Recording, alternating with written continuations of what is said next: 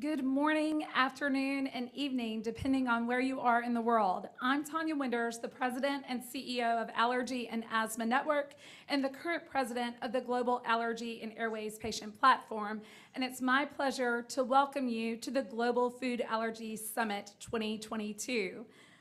Today could not have happened without the organization and the support of so many individuals. So I want to kick off just by saying a huge thank you to the Allergy and Asthma Network staff, the uh, GAP, Global Allergy and Airways Patient Platform staff and member organizations, as well as the Global Food Therapy uh, leadership and, and Dr. Jones and Dr. Shah, who you'll meet in just a few moments. And without their efforts really of coming together over two years ago to talk about the need for a Global Food Allergy Summit, we wouldn't be gathered in this room here today and across the globe.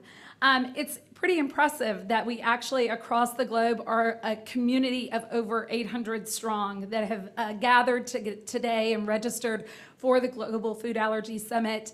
And, and this is an opportunity for us to really take a step back and to think about how the space of food allergy in our food allergy community has evolved from essentially a black and white avoidance or be exposed uh, to your food allergen and the risk of that to now really living in full color with so many different diagnostic options, prevention options, treatment options.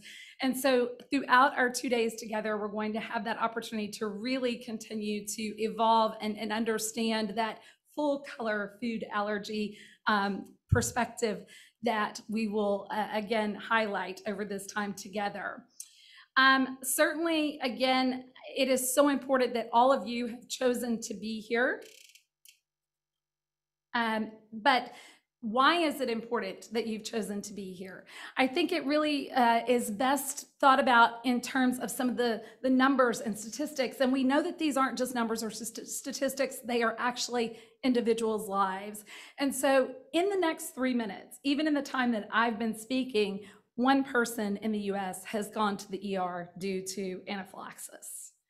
Over the course of the four hours today, four hours tomorrow, that will equate to actually thousands ending up in the emergency room due to a life threatening food allergic reaction. And so sometimes we get numb to this because we're the community, we live it, we breathe it, it's our work every day.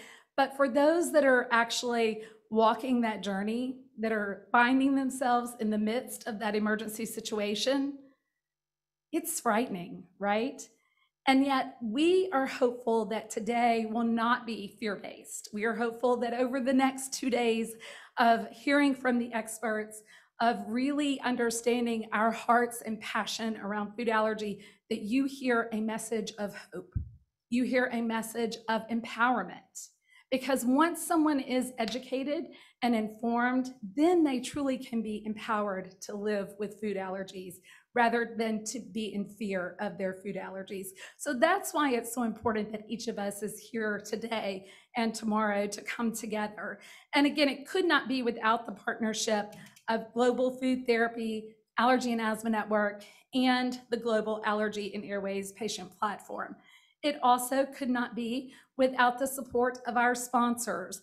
And we are so incredibly grateful to Aimmune, DBV Technologies, Genentech, and Novartis for their support of this two-day event and allowing us all the opportunity to come together. You know, when I step back and, and think about the fact that in my 20 years of this journey of food allergy, the prevalence continues to grow.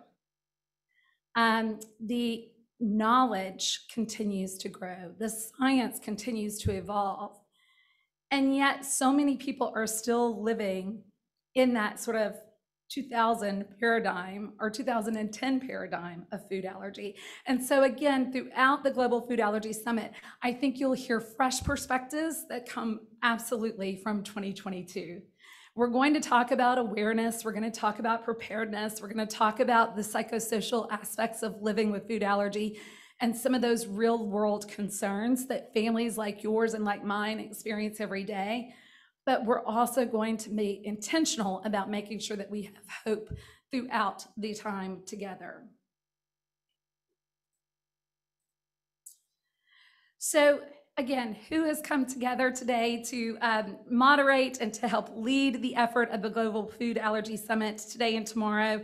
Um, I could not do this without Dr. Doug Jones and Dr. Atul Shah, who, as I said, you know, a couple of years ago, we got on the phone, we had this conversation, we shared our hearts and passion for this community and for bringing an event together that would offer hope, that would offer insight and, and be innovative in its approach.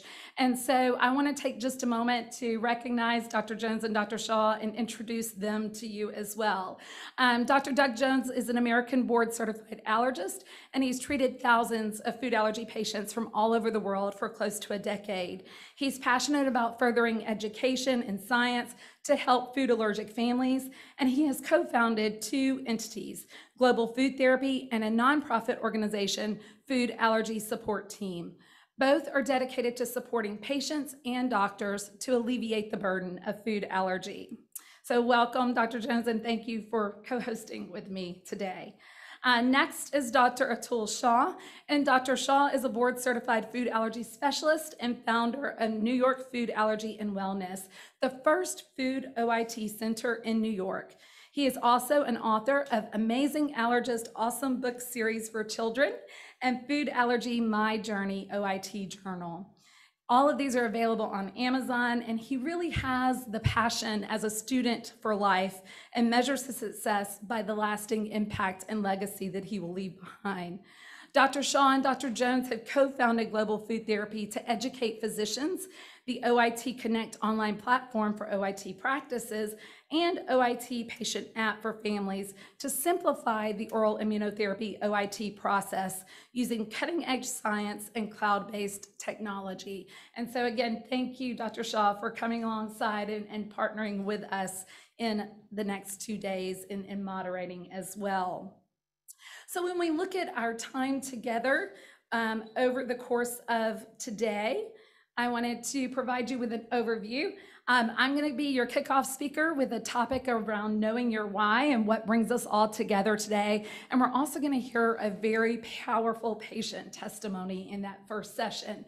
And that's going to be important throughout our entire time together. We want to keep the patient voice front and center throughout the entire um, online program and, and, and live program over the next two days.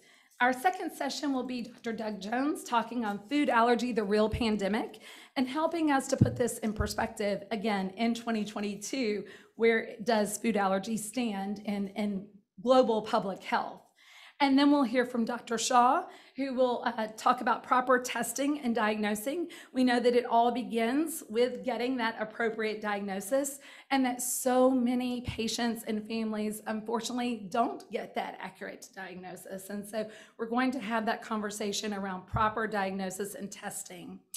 Uh, then we'll turn to food allergy medical management and strategies. And we'll hear from Dr. Priya Bansal on the food allergy guidelines and research. And Dr. Bansal will, will help us to understand what is the latest expert opinion and thought around food allergy guidelines. Then we'll hear from Dr. Siegel on the severity of reaction. Uh, we know that this can be quite challenging at times and, and sometimes subjective, right? Or uh, really trying to determine what is a severe reaction versus a mild reaction. And so having that expert opinion about this topic is going to be really important. And I'm looking forward to that uh, for my own knowledge. And then session five, I'm sorry, session six will be from uh, Dr. Nicholas Papadopoulos, who will talk about maternal diet impact you know, there's a lot of conversation around what happens in those uh, formative months of a maternal diet, also while breastfeeding. And, and, so those formative months of a child's life, what is the difference and what difference can that make? And so again, I think that we'll hear from Dr. Papadopoulos about that maternal diet impact.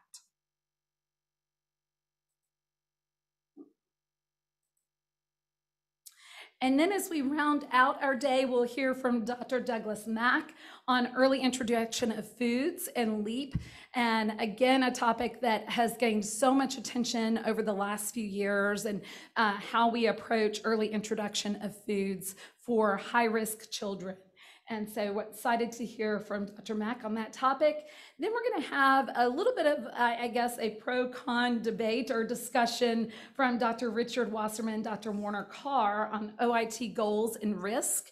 And again, this will be an opportunity to kind of look at different uh, FDA approved and non approved solutions when it comes to oral immunotherapy and think through what are the pros and cons of each. And then finally, we'll wrap up with this topic around um, what is your brand of jeans in our afternoon session by Dr. Sindher. And again, this is where uh, environment and genetics actually come together. And we talk about what is that impact on food allergy of epigenetics, environment and genetics. And so again, really excited to hear from Dr. Sindher on that topic. So we'll wrap up our afternoon here by 2 p.m. Eastern um, in the US. And for those of you, again, who are watching globally, thank you for making time in your weekend, whether that be early morning, late evening. You know, we know that people are joining from all over the world and giving up your free time to be a part of the Global Food Allergy Summit. So thank you again for being here.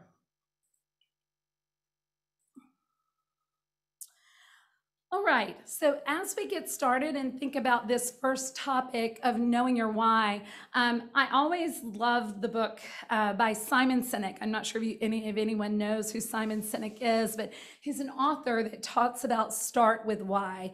And, and this book that he wrote about starting with your why has really been very formative for me because so many times we get caught up in what we're doing and the way we're doing it, the, the you know, what and the how, that we forget really why we started doing what we chose to do.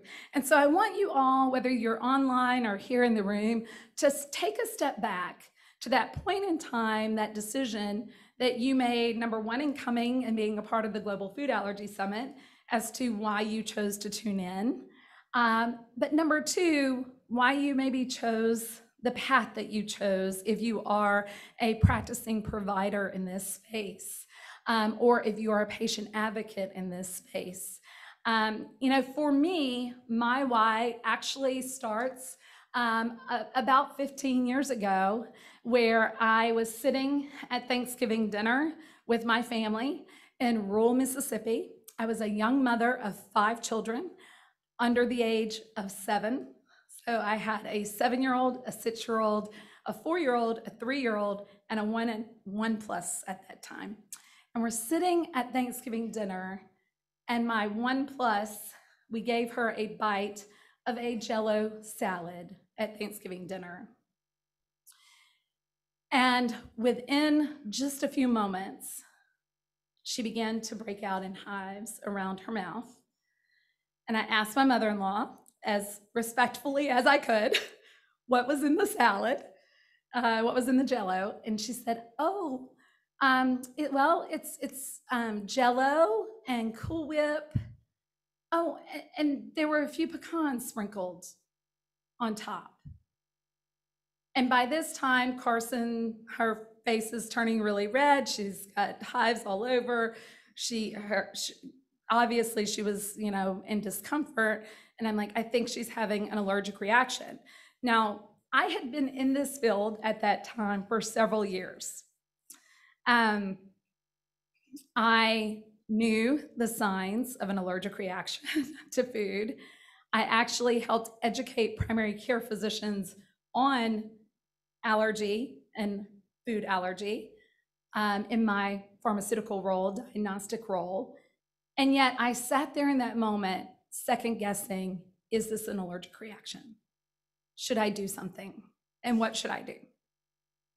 And in that moment, I was not the president of Allergy and Asthma Network. I was not the expert uh, in the, the field that I had been trained.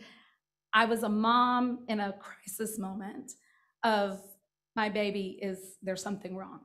So within a few moments, Carson began, um, her throat began, her tongue began swelling, her throat began swelling. She started going, and I knew then that she was having anaphylaxis for sure, and that um, we had to get her to an emergency facility. The problem was we were 20 minutes from the nearest ER.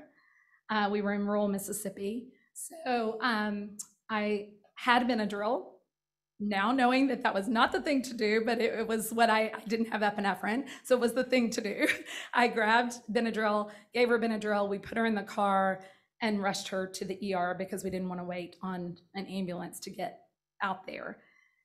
And the entire, what was supposed to be a 20 minute drive ended up being about a 15 minute drive at a very high rate of speed. Um, I was praying that we would get there in time and that she would live. And I had that moment. And even now, 15 years later, I can go right back to that moment. And although Carson doesn't remember it, I do as a mom. And it helped to fuel my decision 10 years ago to come to work at Allergy and Asthma Network, to lead Allergy and Asthma Network as CEO, and then ultimately to lead Global Allergy and Airways Patient Platform GAP. Because I knew that if I, with the knowledge, with the information, with the preparation that I had, even in that moment, had that fear, had that anxiety, um, and, and had to then navigate the system to get an appropriate diagnosis and appropriate treatment and, and not, and be empowered to be educated and empowered, that there were millions others, uh, millions others like me out there. And so my why is, is definitely that two-year-old, uh, less than two-year-old sitting at Thanksgiving dinner, who now is 17 and in her senior year and ready to choose her college and and move off into the real world. Um, but over that time of the last 15 years since that first initial diagnosis and incident, it has been a difficult journey to navigate. We've had challenges along the way. We've had two steps forward, three steps back, thinking we, you know, we're doing all the right things and had all the right preparedness and awareness and you know, double epinephrine auto injectors and all that good stuff. And yet we've had accidental exposures. We've had moments of fear, thankfully, none quite like that moment uh, 15 years ago. But I have to tell you, as I stand on the brink of launching Carson into the world um, and, and being totally independent, living on her own, I'm still a little fearful of that phone call um, it still breaks my heart every day that we get those calls at the network from families that didn't know, that weren't prepared, that had to say goodbye to their loved one, to their child.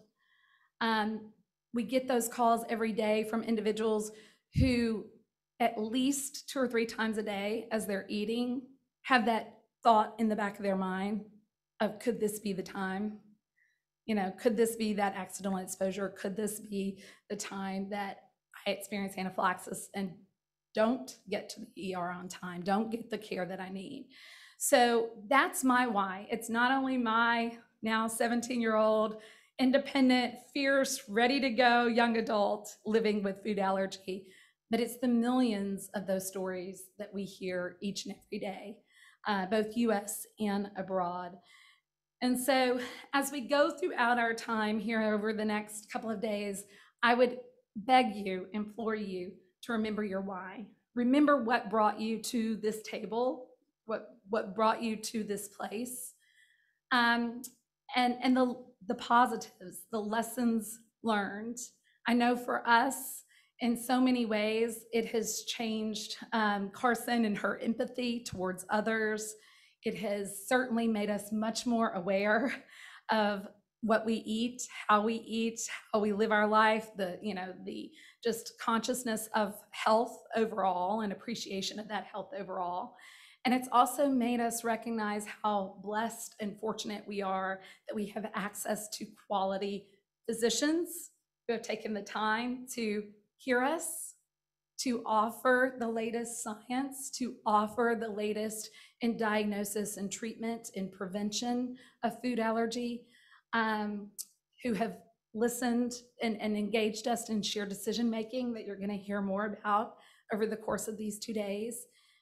And yet, I'm reminded that is not the norm. It's not the global experience. And we'll hear from from individuals, we'll hear from patient testimonies and stories of how maybe it didn't happen in that way. Or, you know, it, it, they still are living with some of those limitations due to that diagnosis of food allergy. So keep that why in the forefront of your mind. Keep that patient voice in the forefront of your mind as we go throughout our time together in the next two days. And I know that my next guest and speaker is going to help us to do that. It's my pleasure to introduce to you Dr. Renee Matthews. Um, Renee uh, is, is really just such an eloquent speaker about her experience of living with life-threatening food allergies and also with asthma.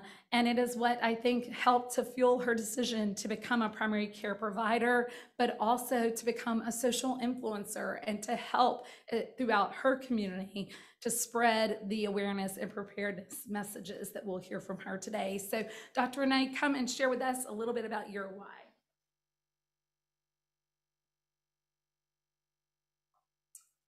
Hello, everyone.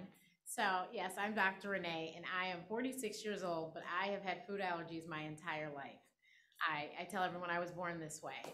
So, I my my mother breastfed me because she's an amazing woman, and she learned, you know, I was her first child, so she said, "Oh, I'm going to breastfeed." She was off for three months. She breastfed for three months, and at the end of the three months, she went back to work, and she started to feed me food, of course. And oatmeal was the first food, and that was the one that my mother is a respiratory therapist, you should also know. And also, I was born with asthma, and so she, of course, respiratory therapist, she knew that as well. So as soon as I was having this oatmeal, she saw and she knew. She said she's having an allergic reaction. And immediately, that's what started our journey. And I am alert. I was allergic to a whole lot more then than I am now. And everyone's like, you're allergic to so much, but it was way worse before. So currently, I do not eat citrus fruits, wheat, rye, barley, nuts, chocolate, seafood, and I think that's it. And um, I can't remember sometimes. But um, in seafood, I also um, I cannot smell cooking. Now I can sit and eat if someone's eating their seafood as long as I don't touch their plate, they don't touch mine, I'm fine. But if I walk into a restaurant, a house, or whatever, and I smell seafood cooking, I do start wheezing. Um, so, like I said, it was far worse before. It is a lot better now. I am so encouraged by all of the amazing things that are happening now because my mom didn't have these options. So, how did we navigate the world? We just were careful. Um, my mom, I, I've often asked, how did I know what I was allergic to? Because I was allergic at such a young age. And she said, I would ask, Can I eat something? She'd say, You're allergic. And finally, it clicked. I figured it out. I was able to catalog all that information. And I was able to, I, I did a lot of things without my parents. My parents worked full time, so they weren't always with me. Not all of my caregivers could remember all my allergies, but I knew what they were. I also had the blessing of my, my best friend, which was my sister, who is three years younger than me. But my sister was an amazing advocate before we knew what the word advocate was. My sister was my taste tester. She would taste the foods. Even at six, seven years old, she couldn't articulate what it was, but she'd say, Renee, you can't eat this. And nine times out of 10, she was absolutely correct. And she saved my life a many a times. So it is so important that your kids know what they're allergic to. And then it's really awesome if they have a sibling or a friend. So it's really good that they tell their friends that they're allergies. Um, I wrote a children's book because I wanted people to understand how I was able to navigate it, but I also want you to understand, you know, your kids, you'd be amazed the information that they can hold and how they can get through life. I've actually lived in, I think, three other countries outside of the US. And obviously, I had to eat while I was there. So, um, and I actually lived on an island for two years, which everyone's like, but you're allergic to seafood. Yes, I lived on an island for two years. I went to restaurants and ate. I never had any problems. You don't smell cook smell um, seafood cooking when you go to most restaurants, do you? So I didn't have a problem, and I never had a cross contamination issue, and I was fine. All of my travels, I usually do not pack my suitcase full of food because I will figure out something that I can eat when I get there. Um, and then, of course, now we have the blessing of the internet. So you can check menus prior to going and figure out, oh, okay, this is what they have, and figure out what you can eat. Or figure out you can't eat anything there and you need to make a different choice. Um, I am really good about, you know, letting people know that I'm with, that I have food allergies. I also do carry Auvi-Q. And so I have that with me and my friends know, and they're like, where is it? In case they know, so that they, they do have to use it, they can use it. I love that it tells you what to do because in panic situations, not everybody's as calm as I am. So just in case, they can take care of me. But I have just really been blessed with a really great community that understands that this is just this is me this is the way it's been this is the way it is going to be and i you know i have the cute stories of course you know my mom probably wasn't so cute at the time but now it's cute i was trying to help her because that's what i do. My mother my sister had just been born. I want to help mommy. And i decided to crack some eggs because i thought i was going to cook with her and i'm allergic to eggs. And i especially cannot touch egg whites. So of course my mom's like where is renee? It's so quiet around here. I was sitting in the corner with these eggs all over me, wheezing, and that's why I was so quiet because, of course, now I've had an allergic reaction. Of course, my father was at work, and my mother had to put two children in the car and get me to the ER because I'm seriously sick. So, you know, and like I said, it's funny now. Wasn't funny then. And then curiosity killed the cat the day that I decided, you know, everyone is sitting there eating nuts and cracking these shells. I thought it was really cute. And so I decided, well, while they're doing that, I'm going to try it too. And no one was paying attention. And I decided to do it. And I also decided to stuff the shell up my nose. And my mother, what is going on?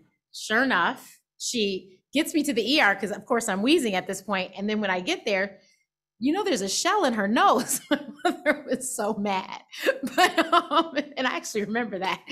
Um, so you know, I you know, curiosity did kill the cat on a few things, but for the most part, I am really good about you know knowing. And I also will say that in my household, all of my allergens were always around. My family did not stop eating anything because I couldn't eat them. It's just Renee can't eat them. And so my mom would cook seafood. My father's from the island of Antigua. He was not going to give up seafood because he had a child that was allergic. So she cooked the seafood outside in the garage. And so the house didn't smell like it. And I was fine. I've never had a problem when my mom made seafood. So, um, so yeah, my I think that the way that I grew up really helped me to where I am now because I didn't grow up in a bubble, and so I'm able to explore all sorts of different you know, opportunities and different places and do different things because I know how to handle things and I know what to do, what to say. And so, um, so I really want to encourage parents that it's really going to be okay. It's not the end of the world, and your child will have a really wonderful, fulfilling life. I did obviously go off to college and became a doctor, and partly, like you said, due to the fact that I was born with asthma and allergies. So, thank you so much. Thank you, Renee. Before you go, um, just one quick comment, maybe, because I know you and I have had this conversation Yes. about being a person of color Yes. and living with food allergies. Oftentimes, maybe there's some cultural differences Yes. or things. Maybe speak to that for just Okay. a moment. Okay. So um, I will say that it's, you know, their food allergies are common in the Black community, but oftentimes we are not properly diagnosed. So we are not, we don't know. So you don't, you know, you, you got sick, but no one ever went and investigated why you got sick. And they just said, okay, well, that person needs to avoid that, but they don't really understand why. Um, and so that can be a bit troubling. And when you don't have the access to go to an allergist to figure out exactly what's the problem and why did that happen. And then also, unfortunately, you know, we have grandparents and great grandparents that don't quite understand. And so they insist on still cooking, you know, I'm allergic to airborne seafood. You're still cooking seafood and you knew I was on my way over. And, um, or I'm staying at your house and I return and I'm like, wait a minute, what's that smell? So, you know, we still have to work really hard to help our, you know, especially the elderly generation, because I think they just don't understand. They just, when they were growing up, it wasn't like that. You just need to be patient and help them understand that this is a serious matter. Um, people can die. And so you need to understand that this is why you have to not cook that, or this is why you cannot feed the child this just because the mom isn't there and you want to feed it to him. No, she told you not to for a reason. And that's why you cannot feed it to them. So it's really important. And unfortunately, like she said, there are some barriers and we don't have the um, access to the information. So I think that if we got access to the information, I know grandma is not trying to kill her grandchild. I know that for a fact, um, as well as aunties and uncles. I know they're not, but they just don't understand. And so if you can make them to understand, you know, I my like I said, my dad is from Antigua, and my family in the islands, it just wasn't as popular, you know, or common to have food allergies. But I came along, and now they all understand and it's not a big deal but it's just about communicating and making them understand and hopefully we can increase health equity equality uh, health equality and we can get access to allergists and immunologists and pulmonologists so that we can have the conversation and people can understand and we can have less children unfortunately dying from anaphylaxis Thank you, Renee. I really appreciate your perspective and Yeah. your why. Um, it's been so powerful to work alongside you and looking forward to the next couple of days. Yes, Thank you. So as we move into our next session, I'm going to invite Dr. Doug Jones to join me here at the podium. He's going to talk about the food allergy uh, pandemic and, and, and really bring that to light. And what I have asked is every speaker to sort of start with their why, why they came to this space, why they're committing to, to the next two days and to this event, uh, and, and their commitment to the community. And so we'll start with Dr. Jones. Thank you. Uh, it's great to be with you and uh, welcome everyone from across the world and wherever you're watching. So great to, to be here. My why started shortly after I joined or started my private practice. You know, I'd been just finished my training and I'd been going through and seeing a number of food allergy patients. And there was one family in particular where I'd already seen the son who was allergic to peanuts and tree nuts. And the, the family brought in their 11 month old daughter who had had some uh, a small exposure to milk and she had some drip on her and she broke out in hives. And the mom was devastated. And it was right before her first birthday and she said you know i'm i don't even know if we can do birthday cake right? And so she she brought her in. She said gosh we're already having to avoid peanuts and tree nuts. We hope it's it's just milk and long story short, as we tested this patient, it turns out the 11 month old was milk, eggs, wheat, peanuts, and tree nuts. And the mom was absolutely devastated. And I remember discussing this with her in, our clinic. And with tears in her eyes, she said, What do I feed my child? And at that stage, I was sick to my stomach. And I, I, I looked back and I said, I have no idea.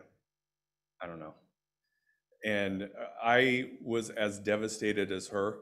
And and as she left, I walked back in my office and I sat there and I thought, I did no service to, to them today. I gave them no hope. They deserve better. There has to be better. There has to be another way.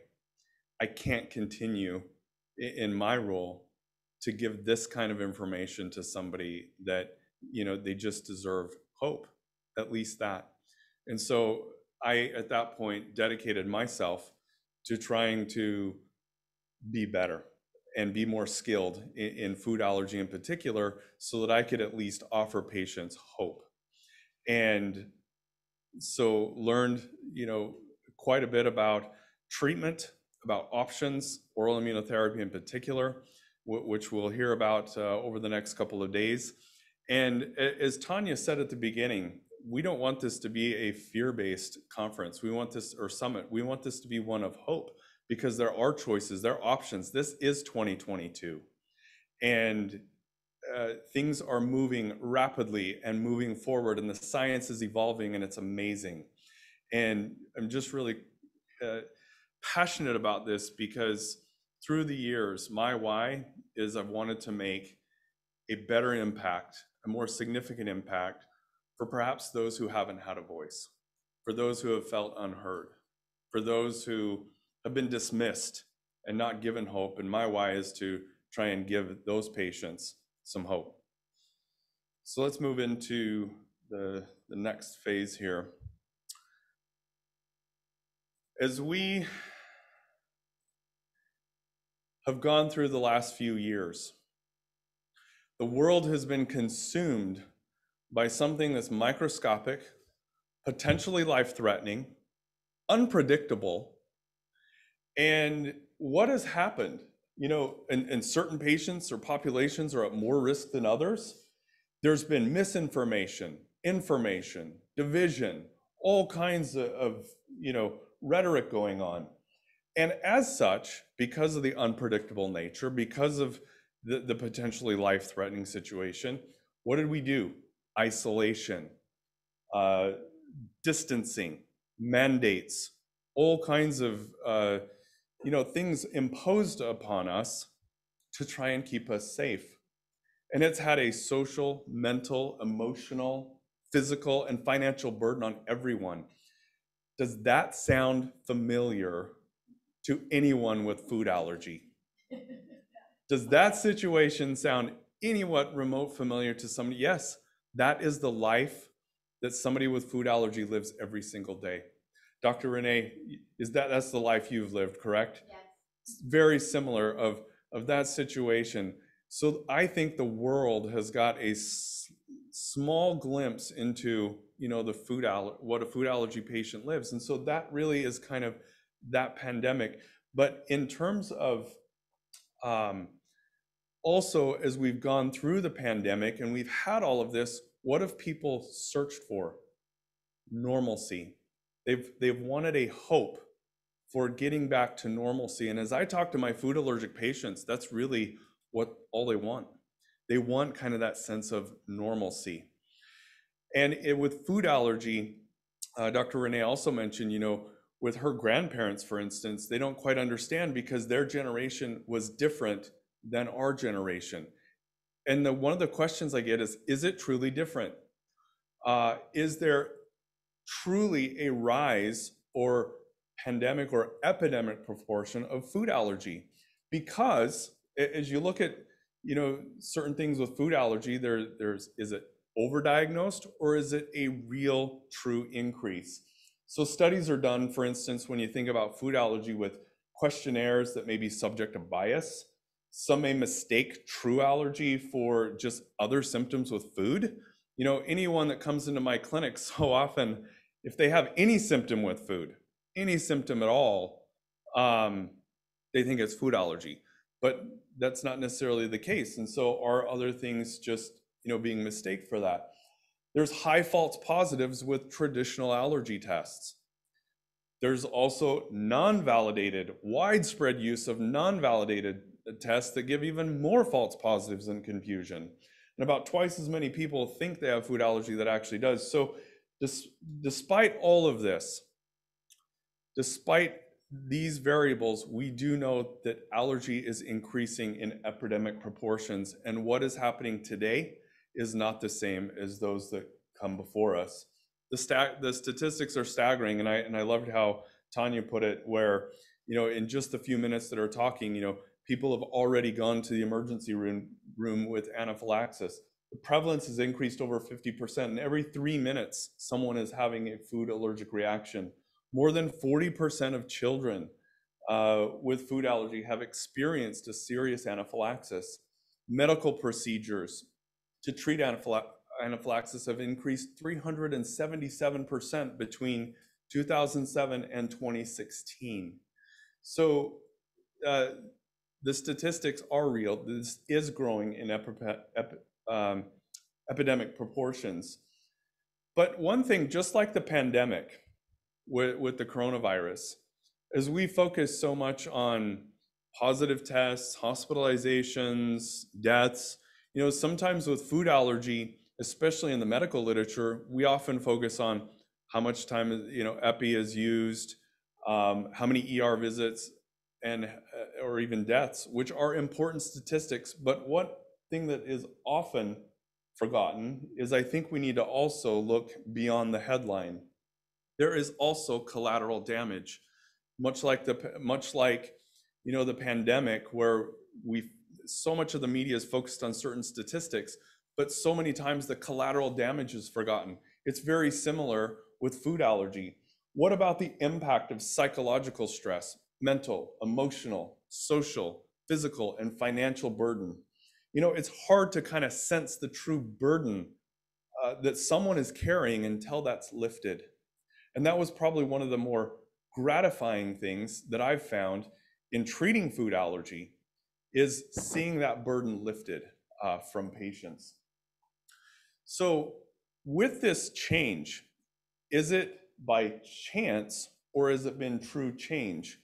So, there's a number of reasons that, that we talk about in terms of why have we had this epidemic rise in food allergy. This is not an all-inclusive list, but I want to just focus really briefly in the time that we have and just hit the highlights of, I think, some of the more important ones. There's something called the hygiene hypothesis. You're going to hear a lot about something called the microbiome, vitamin D, and also our genetics. So just to briefly introduce this, what is the hygiene hypothesis? That is kind of a hypothesis that allergists have debated for years of are we too clean? Meaning uh, people, as you look at the, the scale of non-allergic versus allergic, those people that live in more of a rural uh, community, developing countries, large family size, uh, low antibiotic use, uh, poor sanitation, they actually have lower incidence of food allergy or allergy in general compared to those who um, are living in uh, a more westernized country. They have smaller family size uh, higher use of antibiotics, they have a higher incidence of food allergies. So there's kind of this, this concept of are we too clean? Growing up, there was a quote that uh, was often said to me where they where my parents said, the idle person the devil will surely put to work. And, and I often think in, in our immune system, if we're too clean and it's kind of idle, the devil's putting us to work in an allergy sense. Uh, you know, it, our, our immune system's starting to get in trouble there. So part of with this hygiene hypothesis that goes along with this leads into the next thing of the microbiome. And it kind of starts from the mouth and goes all the way down through the gut, um, promoting bacteria. So as we talk about being too clean, that microbiome that's in our mouth, all the way through our gut, and actually on our skin as well, uh, we get less diverse. And we can start with mouthwashes, other things that can affect the microbiome, stress, antibiotic use, antacids, uh, food, what's in our diet, uh, anti-inflammatories, C-sections, those types of things may affect the health of our gut, which then may affect, you know, how our body is seeing and interacting with food we're gonna, I think that we're gonna have some more talks more in depth on this. I'm just trying to int introduce some of these concepts. Um, vitamin D, is this the real deal? You know, about 15 years ago, I was just getting introduced to some of the vitamin D literature, and a patient actually challenged me. She said, why don't you look into how vitamin D affects the immune system? And I, I loved it. Uh, she had been doing some reading. She'd been doing her research, right? And so this patient told me, she said, look into this. And so I've tracked this for the last 15 years. Vitamin D, which is probably poorly named, it's more of a, a hormone that's in the steroid family in our body, is a natural anti-inflammatory and immune modulator. And deficiency can lead to an increased risk of food allergy, worsening inflammation. And data, uh, odds of food allergy is 55% lower for those born in the summer versus those born in the winter. And peanut allergy in particular is 2.4 times more likely in children with low vitamin D. So this is something to kind of pay attention to. When we move into one of those next categories, what's in our genetics, for instance? Eh, we can just look at eczema and a gene called filaggrin. Filaggrin is, is critical in uh, kind of the integrity and barrier of our skin. And when we have a mutation in that particular gene, for instance, we're more likely to have eczema and food allergy, and they kind of go hand in hand. And there, there was actually just a, recent article published just this last month, actually, in one of our major journals that showed that, that corresponded with eczema and the skin barrier and actually how that may impact because peanut is actually found in dust in all homes and schools. And that doesn't matter if you avoid it in your home or not. Um, so we often think about, you know, those genetics and what may be playing a role with us. So just in summary, and I apologize for going through some of those topics quickly, but again, it was more of just an introduction because we have a lot more coming. But just in, in summary, food allergy has grown in epidemic proportions. There are significant risks.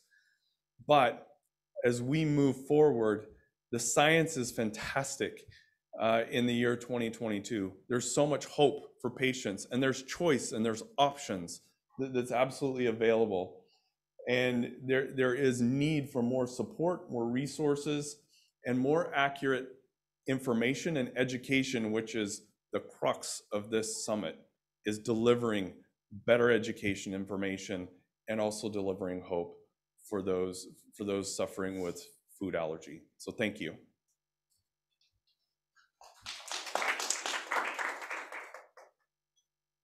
Thank you, Dr. Jones. Actually, we've got a couple of questions if you want to stay for just a moment. Absolutely.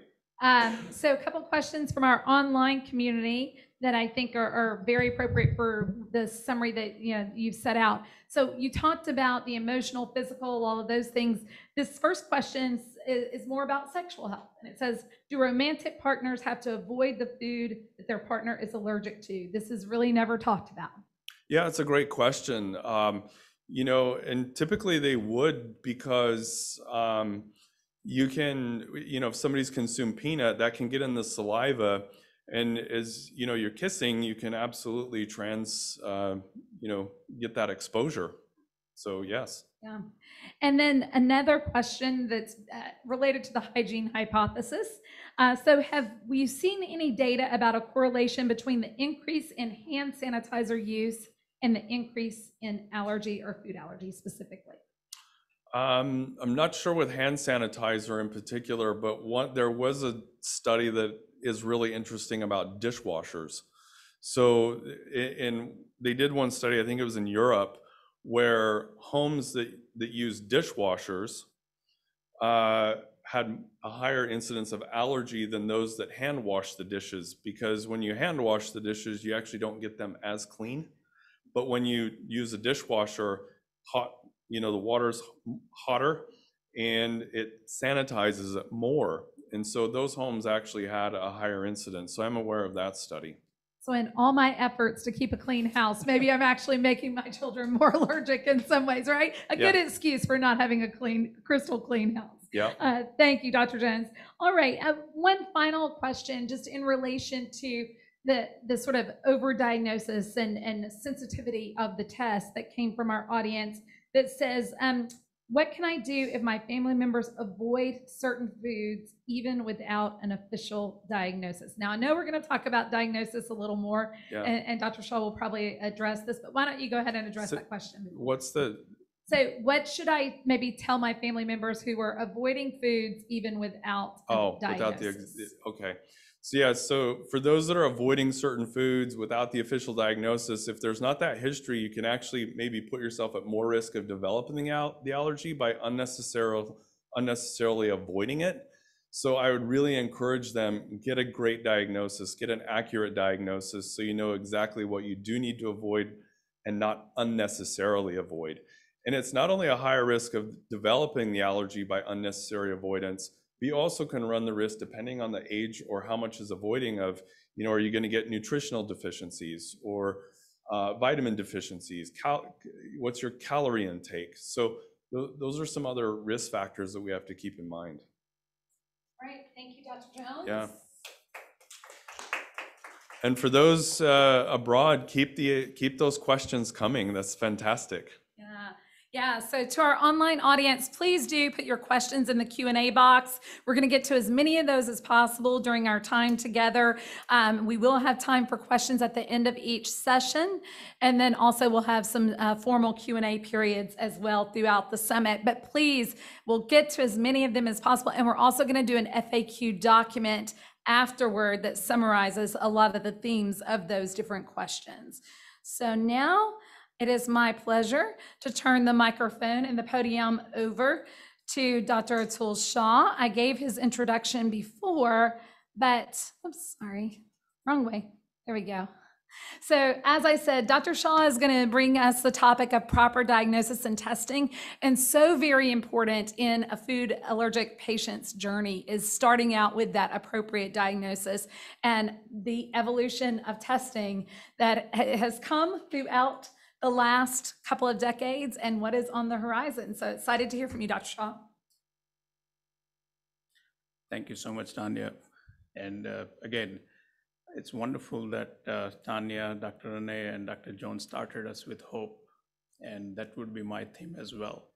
So all of all of you who are out there attending today, I want you to at least ask one question: It's what's your why for being on this uh, summit live today?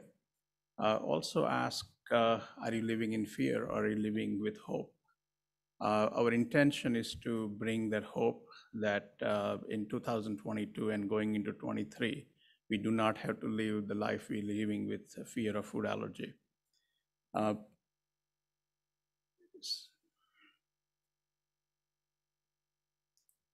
uh, you know, to answer my why, my why, like Dr. Jones, are my patients. I got started in this field because of similar story where unexpected reactions from the family where father is a surgeon, mother is ophthalmologist. They were in Colorado. They were in a hotel. They asked somebody to get peanut-free pasta because their son has peanut allergy. And he needed epi. Not only that, because of asthma, he ended up in ICU. They came back, asked the chef, we asked for peanut-free pasta, what happened? And chef actually showed the written instruction the waitress gave the order for gluten-free pasta. So the person who made an error led to pasta that was made out of peanut flour and uh, chickpea flour. Now, this family is doing everything right. They have the proper diagnosis, they have the auto injectors, they're telling everybody that I need to avoid the food. Someone makes a mistake and they end up in ICU and they almost lost their son. So they came to me for second, third, fourth opinion. This is 2012. And like Dr. Jones, telling them avoidance and having auto-injector is the only option you have made me feel inadequate.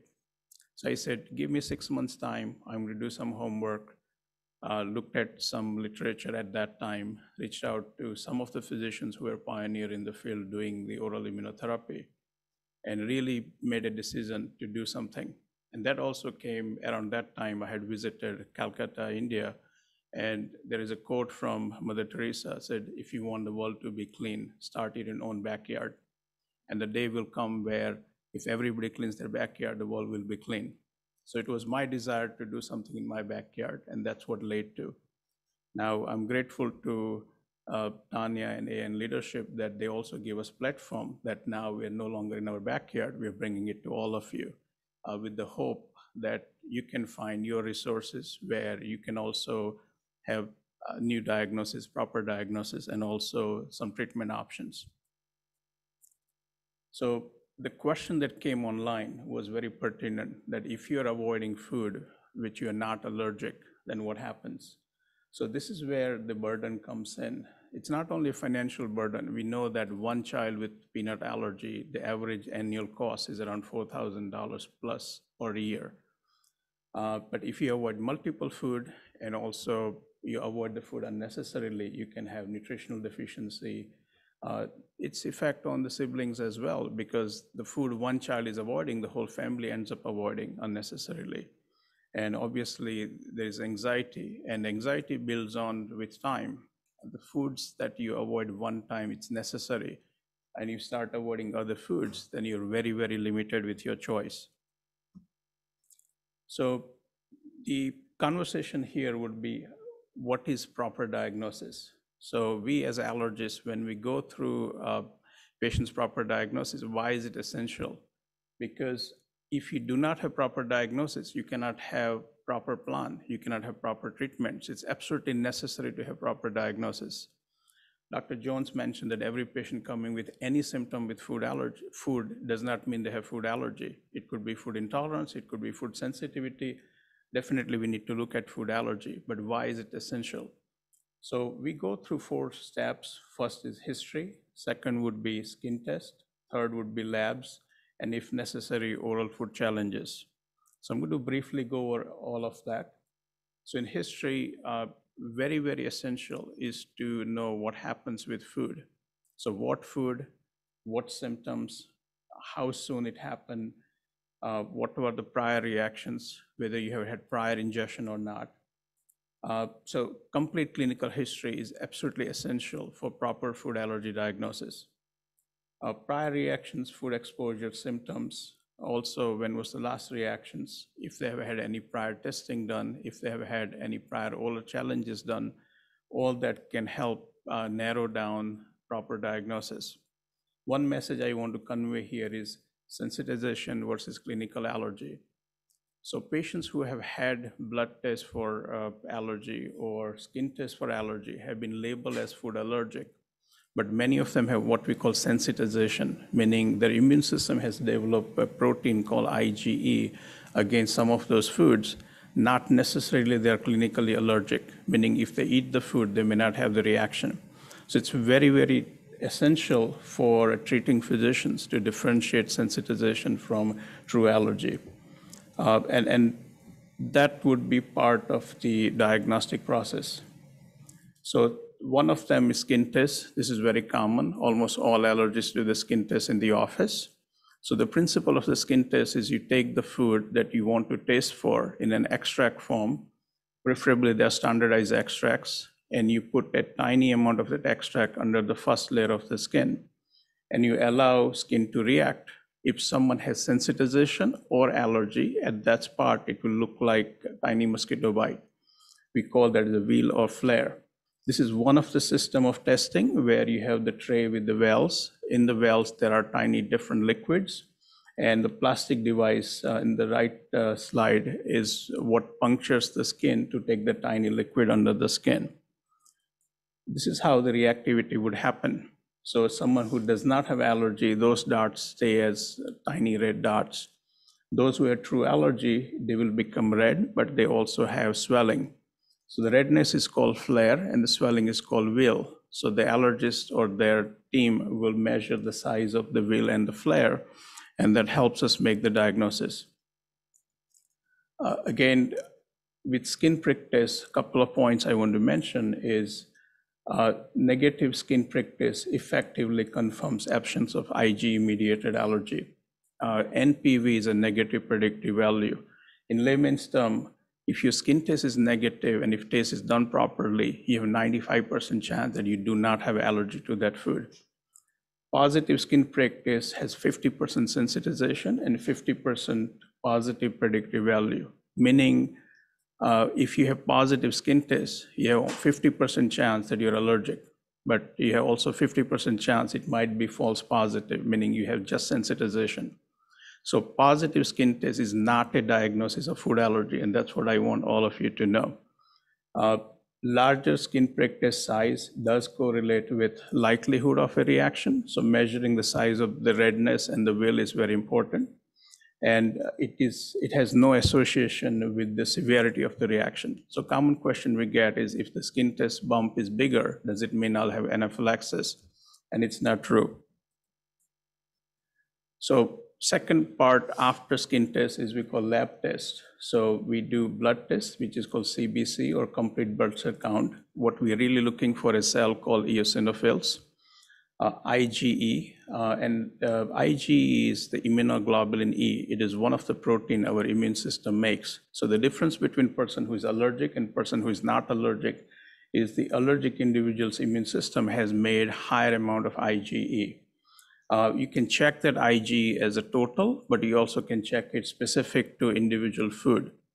Uh, the food component testing is very essential in proper diagnosis. So if someone has allergy to peanut, you can break down peanut protein into different components and you can have IG against those components checked. And we'll see in the next slide how that helps with the proper diagnosis. Some of the newer tests, one of them is called epitope mapping, and the other one is called basophil activation test. So food-specific IG, a couple of points, is high total IG can influence uh, false elevated specific IgE. So many children who have severe eczema, their total IG is very high. And they have IG for peanut, milk, eggs, nuts, and sometimes get labeled as allergic to all those foods. And at that time, we need to recognize that it is the total IG that's showing up positive for many foods and not necessarily be allergic to those foods. Uh, second part is level of uh, specific IG does not predict severity of a reaction. So similar to skin test, you cannot say that somebody with higher number will have anaphylaxis versus someone with lower number would not have anaphylaxis. And past reaction cannot predict severity of a future reaction. So we'll quickly go over some uh, individual food-specific diagnosis. So with peanut allergy, we have history, we'll do skin test, we'll do the IgE, which is in the scale of 0.10 up to 100. Uh, we'll have components. So Ara h 2, 6, 1, 3, 8, and 9, these are commercially available. Uh, component number two and six, which are the in the early part, they are the one considered reactive component or we call high risk component. So somebody with high component two and six is more likely to be allergic to peanut. If someone has component eight alone and not two or uh, six, maybe just the pollen allergic. This is the cross-reactive allergy to peanut. Again, if you have total IgE, you can compare that number uh, epitope assay is available for peanut commercially uh, and basophil activation. And again, if diagnosis is not clear, you go with oral challenge. Now, these are some of the examples. So the left side is the actual blood test screenshot of a patient. And if you see total peanut number is more than 100, when peanut was broken down, Ara h 2 is more, more than 100. This patient is likely uh, truly allergic. If there's a clinical history and you have this test, then you know you have the proper diagnosis. Interestingly, this side is the same patient after three months of oral immunotherapy for peanut. This is not a typical number. Most patients take much longer for their IgE to drop, but it was very fascinating for us to see that three months after oral immunotherapy, their peanut IgE went from more than 100 to 38, RH2 it dropped to 33. Now for milk, similarly, we'll have a history, skin prick test, uh, IgE for milk. Milk components are casein, alpha-lactalbumin, beta-lactoglobulin. And sometimes we use that to decide whether you can give somebody baked milk challenge or not, whether someone can tolerate baked milk products or not. So casein is the reactive component uh, which has likely association with more severe reactions. Uh, similarly, uh, basophil activation test is available for milk and you can do oral challenge. We do not have epitope assay available for any other food other than the peanut. Uh, similarly, this is an example of someone with milk allergy. IgE for milk is more than 100. When you look at the component, casein is more than 100. Uh, this is for eggs. So you have history, skin prick test, IgE for eggs. These are the egg components, ovomucoid and ovalbumin ovomucoid is considered more severe or reactive component. So there are patients who have ovomucoid low but high ovalbumin. Those patients can benefit uh, by going through baked egg challenge and tolerate baked egg products. Uh, again, uh, we have basophil activation and oral food challenge that can be done for egg. This is an example of someone who had blood test for eggs and peanut. You can see the egg white is more than 100, ovomucoid is 72, but when you look at their peanut is 2.32 and their Ara h 2 is negative.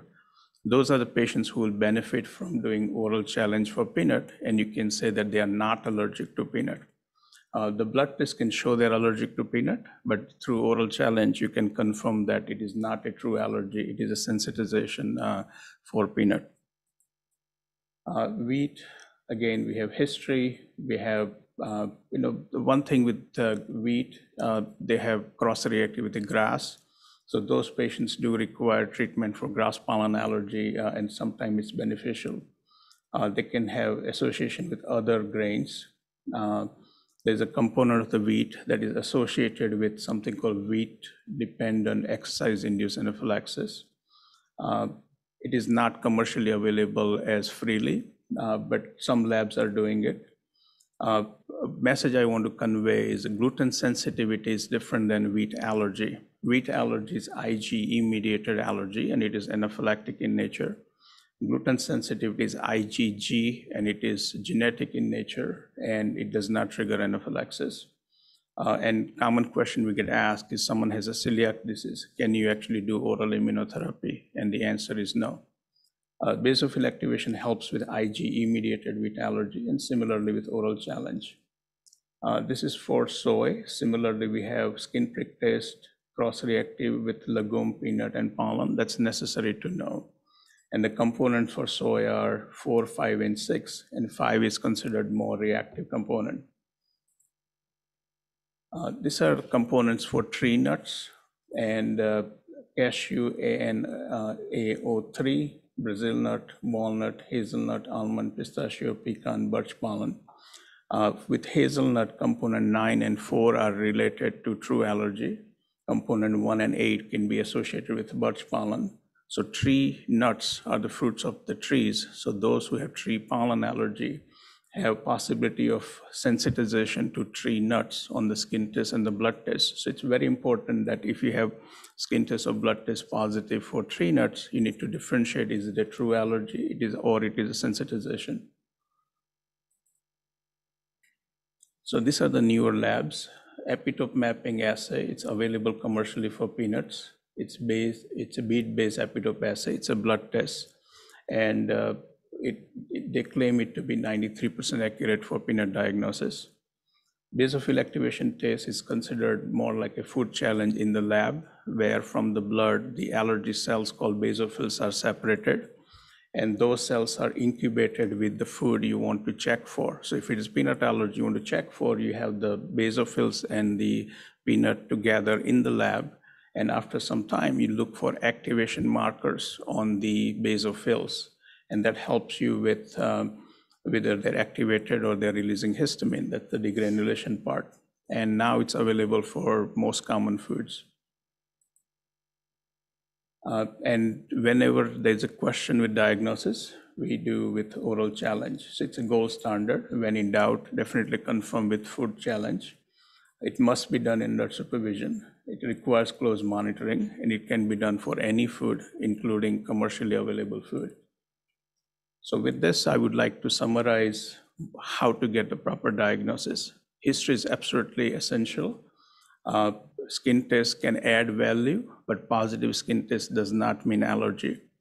Uh, labs are different types, and depending on the access you have, your food allergy experts will make the decision of what tests are needed. Not everyone needs all the tests.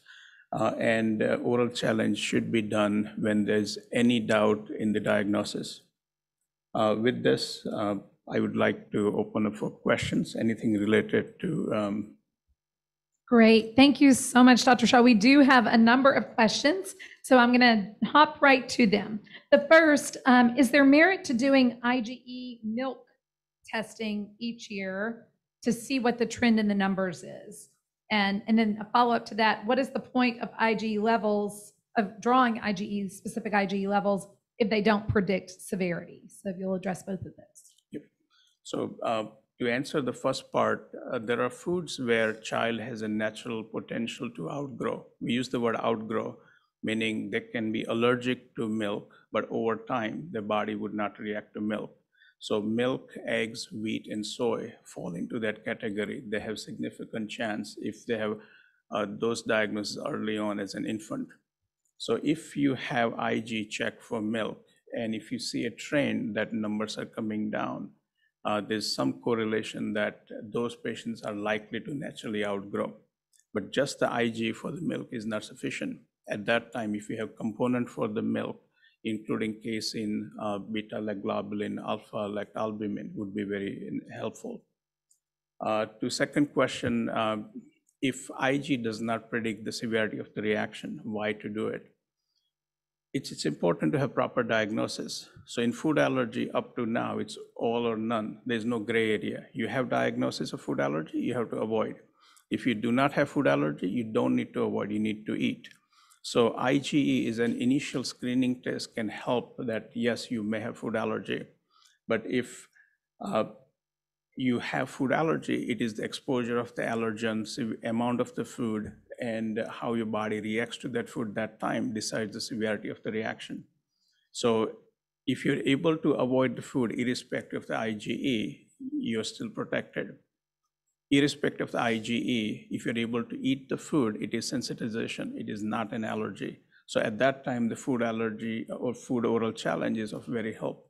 So if there's no need to do annual blood test for IgE if you're already eating that food.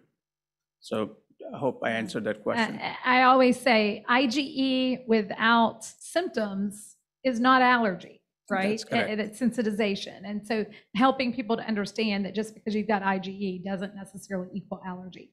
Um, Another question around patients that have uh, dermatographia urticaria. Uh, Do you do skin test in those individuals or would you just defer to the blood test? So for those who do not know what dermatographia is, dermato is skin, graphia means you can write. So there are patients who have very sensitive skin, where if you scratch their skin, skin becomes red and it looks like hives. We call them a linear hives. So la- hives will look like uh, lines. So those patients, no matter what kind of skin testing you do, they will have uh, positive tests, and they are called false positive. So patients with dermographia, uh, there's no benefit of doing skin testing. And then uh, just a really basic question that we didn't cover at the beginning, but that I think is really important. What's the most common allergen? And then what's some of the more less common allergens that you've treated and seen? So um, the most common allergen diagnosis wise is age dependent, but the uh, nine common allergens in the United States are uh, peanut, milk, eggs, wheat, soy, um, tree nuts, fish, shellfish, and sesame. Sesame has been added now. Uh, The treatment we have done is for almost all foods. Uh, The most common one that requires treatment is usually peanut and then uh, milk, and then eggs, and then tree nuts. Uh, Sesame, definitely, yes. Great. And then one final question, and I think we have time for before we move to the next topic, and that is, is an example of sensitization eosinophilic esophagitis reaction? Would that be a sensitization, or does it really depend on severity? So those who do not know what eosinophilic esophagitis is, it is inflammation of the food pipe, which is esophagus, from the allergy cells called eosinophils. So there are subgroup of children and adults with food allergy who have inflammation of the food pipe. It is not IgE mediated. It is a cell mediated reaction. So many of those patients, when you do skin tests or blood tests or IgE, those tests are negative. So it is clinical history and what triggers their symptom is what helps make the diagnosis of uh, what foods are contributing to EOE. So we cannot rely on skin tests or blood tests for food allergy diagnosis for EOE. But one of those differential diagnoses that, again, only really a board-certified allergist is equipped to address. So- That's correct. Great. Um, I saw one other that's a diagnosis question, so I'm going to trump my last statement. Can certain autoimmune disorders predispose an individual for food allergy? Or can it manifest a food allergy? So if we look at the definition of autoimmune condition, autoimmune, their immune system has made antibody against certain cells in the body, but it is IgG antibody and not IgE antibody. Food allergy is also protein made in the body, but it's IgE type. At least I'm not aware of cross uh, uh, increased prevalence of autoimmune condition and food allergy. Uh, So they're two separate, it's the same immune system, but the, the mechanism through which it manifests is different. Great. Thank you so much for that clarification and that informative talk. Thank you, Dr. Shah. And I agree with your final statement there. Every food allergic person deserves freedom, and that's what we're striving to impart here at the Global Food Allergy Summit. So here you have Dr. Shah's information. Yet another unique differentiator about the Global Food Allergy Summit is that we are providing you access to these experts. They want you to engage. They want you to follow up. We're going to, uh, again, continue to share these frequently asked questions after the fact. So next, we're going to move into our food allergy medical management strategies section. And our first presentation in this section is by Dr. Priya Bansal. Uh, Priya is an allergist immunologist at the Asthma Allergy Wellness Center in St. Charles, Illinois. Dr. Bansal studied at Penn, Pennsylvania State University, Jefferson Medical College, and, and has her BSMD program where she also earned her medical degree from the University of Illinois College of Medicine in Chicago. She completed her residency, was the chief resident at Rush University uh, Medical Center there. She's board certified in internal medicine, pediatrics, allergy, and immunology. She is a fellow and past president of the ISAAA, AAI, and a regional four governor uh, for the regional uh, allergy societies. She's also the chairperson of the Health and Informatics Technology and Education Committee for the Quad AI.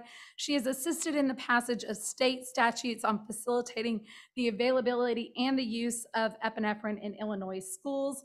And she recently was awarded the Castle Connolly Exceptional Women in Medicine Award for 2020 and Top Doctor for 2021. So um, let's welcome Dr. Bansal. Um,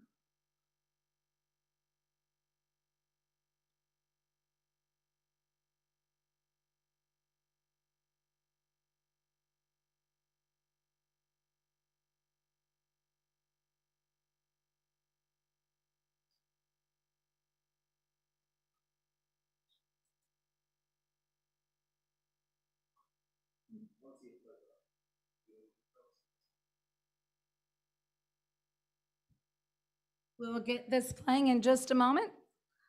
It worked in rehearsal. See if it works live. First video presentation. Thank you um, so much for joining. We are so excited to keep going with the Global Food Allergy Summit. I'm Dr. Priya Bansal. I am um, from the Asthma and Allergy Wellness Center out in St. Charles, Illinois. Um, and I also am on faculty of Northwestern Feinberg School of Medicine. And I thought I'd start out with this, um, with a graphic. Kind of, this is one that I just took actually this past week, and this is hometown right here of Chicago, and you can um, kind of see the sun coming up, and that's how I feel about uh, the food allergy uh, food allergy realm. I feel like we're starting to see some sunshine and starting to see some hope um, radiating uh, radiating out uh, with these food allergy um, guidelines as well as the research. So I'm privileged to uh, be able to share some of this with you today. So in terms of disclosures or anything, uh, there are absolute, and uh, let's right get right into it. So what do we worry about um, in terms of at-risk groups, right? So who are, are our most vulnerable in terms of at risk for food allergy? We know that infants with severe eczema are at the highest risk of food allergy. Mild to moderate eczema, the family history of atopy, meaning that you've had um, one or both parents that have some kind of allergic predisposition, whether that be eczema, um, allergic rhinitis, asthma, some type of atopy in one or both of the parents, or infants with one known food allergy are potentially at a higher risk of food allergy, or if they already have one, developing another one. So there's no evidence at all to clearly support that the younger sibling of a peanut allergic child is at increased risk of peanut allergy. And I know, you know, um, we we get a lot of the families in coming to the clinic and say, "Oh, you know, I my this child is allergic, so I don't want to give this other child um, peanuts at all. But like, there's not clear cut evidence to be able to support that. But these infants can be at risk of delayed peanut allergy with that delayed introduction of peanuts. So I know um, some of us that are very savvy on the call, we probably already know this and say, oh, I know this information's been flipped on its head. But others of us are like, wait, wait, wait, we were told not to introduce um, peanuts. But that's actually, like I said, not the case. The delayed peanut allergy can stem with a delayed introduction in this group specifically. So I was trying to find um, a great way to summarize this, and I was lucky enough to come across uh, the consensus statement that recently came out of all uh, of quite a few of the randomized um, controlled trials for the early introduction of allergenic foods.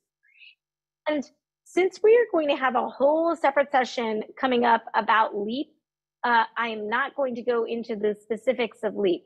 But you can see here, we've got the LEAP trial in the UK, we've got EAT, uh, STAR out of Australia, and STEP. We also have BEAT and studies coming out as well out of Germany and Japan. So, and all of these are looking at these particular um, uh, particular groups. The first couple studies that we can see on the top, LEAP, LEAP and EAT, are focusing more on high risk infants. And like I said, we just defined what that high risk infant group looks like. It's moderate to severe eczema and or egg allergy in the LEAP study. And here in the EAT study, we ended up seeing, okay, what about these standard risk infants that were exclusively breastfed until these allergenic foods were introduced? Then we went on, you can see this middle column here is about a particular type of intervention. What did we want to, what did we do in the study?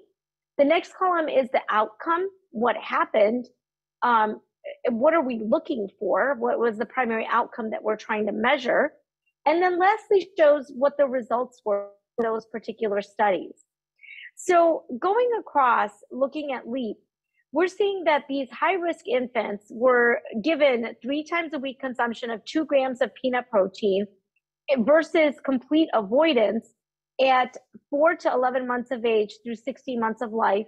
And what happened to the peanut allergy by that 60 month.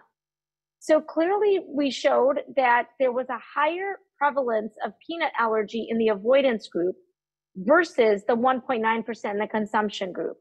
And this was, um, and like I said, we're going to go into this fully, but it was a major, um, major breakthrough because many of us, um, it was uh, funny. I was just talking a minute ago how all of us were told, no, no, no, no, no, no, um, no peanuts until they're age four. And so for a lot of us, this said, wait, we were just told the exact opposite. And now you're saying the opposite. So yes, now it is very much different that we do, especially for these high risk infants, want to introduce um, peanuts early. Afterwards came about um, inquiring about tolerance or the EAT study. And like I said, they looked at these um, standard, um, standardized risk uh, infants. In one group, they had an uh, early introduction group where they introduced two grams of protein twice weekly at three months of peanut, cooked egg, also cow's milk, sesame, white fish, and wheat and then the standard introduction group at the regular six months um, above six months food. What they were trying to figure out is what happened with food allergy to at least one of the six allergens at age one and three, based on an oral food challenge. So it it showed no difference in food allergy between the early introduction um, and the standard introduction. However, when we went on and did further analysis, we saw that there's less prevalence of peanut allergy and egg allergy in this early introduction group. So once again, really focusing on um, the peanut, the peanut and the egg and the early introduction. Then let's move on to the STAR and the STEP trials. So here, STAR, we're looking at high risk infants to moderate to severe eczema, uh, STEP, intermediate risk atopic moms, and over here in the first one, looking at daily consumption of egg versus placebo powder from four to eight months of age, and given 0.9 grams of raw whole egg powder and cooked egg at eight months. We were trying to figure out what the impact of egg allergy is on the skin pick test as well as the oral food challenge. This, this study unfortunately was terminated early because a third of the patients reacted to egg at, at entry at the oral food challenge. At 12 months, 33% had egg allergy in the egg group versus 51% in the control group, which was not significant. Which is really this. So then when we went back and we looked at this, we said, uh oh, so if this is happening, um, is there a difference, right? Is there a difference between egg versus looking at the powder? So here, this is in step looking at the starting time for that peanut protein. So infants with no allergic disease or atopic moms we had daily consumption of egg versus placebo powder from four months to six and a half months, and 0.9 grams of raw whole egg powder daily. There wasn't, unfortunately, any significant difference between the egg allergy between the groups, but this particular group, when we're using the powder, is not having any anaphylactic reactions at the initial egg introduction. Let's move on to then BEAT. BEAT had an intermediate risk, so infants with first degree relative with atopy, infants with negative skin prick test results, daily consumption of egg versus placebo powder at four months with 350 milligrams of protein, raw daily oral egg protein. Again, we're looking at sensitization to egg, and they found that the subjects in the egg group versus placebo had significantly leg, less egg sensitization. And there was no harm here in doing it this way with egg introduction. So going on, you can see, like, obviously, we are seeing that in this high risk group, the themes are that it is okay and it's recommended to go ahead and introduce um, peanut protein at a younger age. And obviously, we can talk about like how, you know, the comfort level in the clinic, outside of the clinic, but it is recommended those high risk infants, as well as seeing the trends towards introducing that um, egg, the, the whole raw egg powder, or um, trying to also mediate egg allergy, especially in these high risk infant groups. So when we try to compare this across the board, so you're going to see again, we saw a lot of the studies were in Australia. We saw the NIAID um, recommendation and the British Society. And actually, after this paper came the EAACI, which is the European um, allergy uh, guidelines. And basically, if we compare ours, the, the NIAID guidelines, says infants with severe eczema, egg allergy, or both should have age should have introduction of age appropriate peanut containing food as early as four to six months to develop peanut allergy. The second addendum is that mild to moderate eczema should have age appropriate peanut containing food around age six months in accordance with family and cultural preferences to reduce the risk of peanut allergy. And lastly, infants without eczema or any food allergy, they can have age appropriate peanut containing foods freely introduced in the diet together with other solid foods in accordance with the cultural uh, preference, uh, cultural practices and family preferences. So again, here in the U.S., that's traditionally how we are approaching now the early introduction of peanut. Now here you'll see in the British Society, they talk about exclusive breastfeeding for the first six months. Um, hen's eggs should be differentiated from other complementary foods. And um, talking about the deliberate exclusion may increase the risk of allergy. And once these foods are introduced, again, keeping it in with the usual diet and the preferences of the family. Looking at the Australian guides, it says not before four months, but at around six months, start introducing various solid foods while continuing breastfeeding and be given peanut butter, cooked egg, dairy in the first year of life. So similar themes, but you can see globally, um, again, just because the conference is global, we're trying to see, okay, what are the nuances that are going on throughout the world? So, what about how do we um, introduce these different types of foods? Like, I feel like uh, peanut has been very clear. You know, we've been able to see the LEAP guidelines. People have talked about those. And, you know, I'm going to go on to that in a minute to talk about Bamba and some other things. But what about some of these other foods? Because that's where I feel parents are like, well, if I want to try this before a year, how am I supposed to do this? So we're not saying to go ahead and run and just do like cow's milk for somebody who has milk allergy. So if you haven't given your baby infant formula, suggesting to start with milk in baked foods or, yo- or yogurt, cheese can be given around six or seven months of age. For the egg, fully cooked or baked egg to start with, like we're looking at low sugar cookies, muffins, pancakes, rather than going to the straight eggs, which like we showed you before, have led to some reactions in previous studies. Undercooked egg, definitely not recommended under H1. Looking at soy, um, if you offer the baby, um, you know, ideally it would be like soy milk, soy yogurt, tofu. You're not looking at soy sauce. So obviously best to avoid that. For shellfish and fish, over 700 uh, species of fish and shellfish in the sea. So we're not going to say, let us try every single fish, right? so recommend giving the baby a few portions of fish or shellfish species that you intend to eat as a family. So if you're not normally eating it, again, no reason to stress yourself out and be like, oh, I have to have them try this immediately. No. we want to make sure that you go with, again, what your cultural or family norm is, something that you tend to eat and what you'd like to continue to eat, and not giving more than two portions of fatty fish per week. And this is according to the FDA guidelines and the Food Standards Agency in the UK. Sesame, um, again, trying some hummus or tahini, sweets or candy can be given to older children, but obviously watching the sugar content. But uh, that would be a great way to go ahead and, and, and try um, sesame. Wheat, I feel, is a little bit more intuitive, looking at softly um, cooked pasta, which makes, uh, you know, great finger foods. Also looking at those baked goods, which are also going to uh, work for your egg introduction as well. So going back and trying to look at, okay, in the US, when are peanuts and eggs recommended?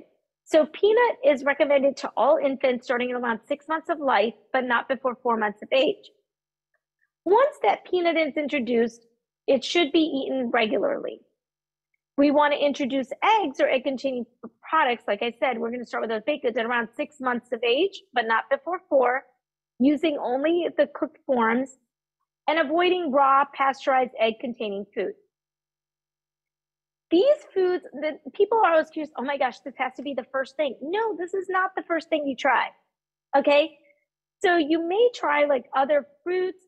Um, you could try um, other vegetables other greens oats rice other things should be tried first and then we're going to try to incorporate these things in as well.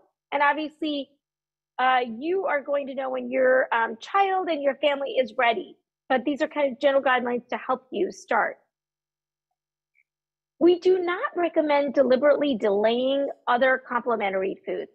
So if we're looking at cow's milk, soy, wheat, tree nuts, sesame, shellfish, fish, again, not looking at deliberately trying to hold it out a couple of years, trying to nice, uh, and we're going to talk about that in a second, why we're doing this, but we want to nicely round out um, that diet, and we could, there could be some potential harm in delaying that introduction. After the complementary foods, we want to try to diversify the diet. And why is this important? And, and we, many of you have probably seen um, multiple talks. I mean, this has been going on all across the globe where, where there's um, a lot of buzz here about why we want to diversify the diet to help foster that food allergy prevention.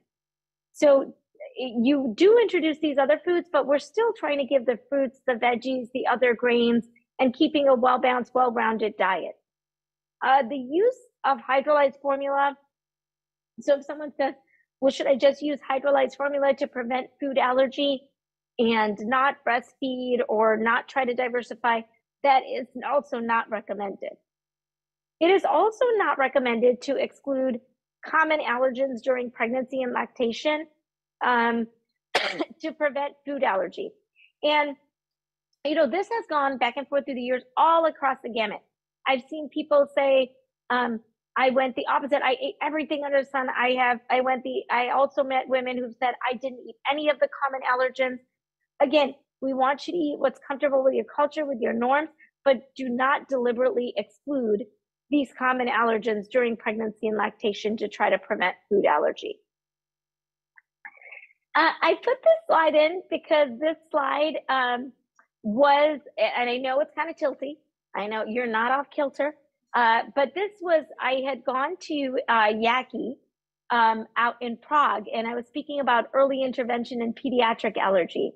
And uh, saw a lovely slide, lovely talk with Rhoda Whitfree and all, uh, looking from the Allergy Journal in 2019, talking about exactly what we were saying the diet in early life and its influences. So you can see here on that picture, we've got yogurt, we've got fish, we've got some vegetables, some fruits. What's the point? And you've seen a lot of um, buzz about the short chain fatty acids, right? So the short chain fatty acids are going to reduce that allergic sens- sensitization. We have, you can see the effect of butyrate up to six years out, showing decreased atopic sensitization, decreased asthma, and decreased food allergy. So even though our natural inclination may be, oh no, I don't want to give this particular food to my child, it's very hard to sit there and we want to try to fight that inclination. Um, even if we've had another child that has food allergy and do want to try to diversify that diet, especially early in life, because we can see not only just the implications at that moment in time, but looking out up to six years later. We're trying to figure out how many peanuts, I think this is where um, there's confusion. And, uh, you know, I had some help being able to get this, uh, the Bamba graphic um, put into here. But, uh, you know, um, some of the patients have come in and, and say, oh, I just give Bamba. My child eats a whole bag of Bamba. I'm like, that is fantastic. So 17 grams of peanut puffs is about two thirds. And this is what we're looking at, like two grams about three times a week for peanuts in that LEAP study, especially for that high risk uh, group. So that is about two thirds of a bag of Bamba. Nine to 10 grams of peanut butter is either two level measured teaspoons or a big round teaspoon. And then if we're looking at eight grams of ground peanuts, that's two and a half level measured teaspoons. Four grams of peanut flour or peanut butter powder is two level measured teaspoons.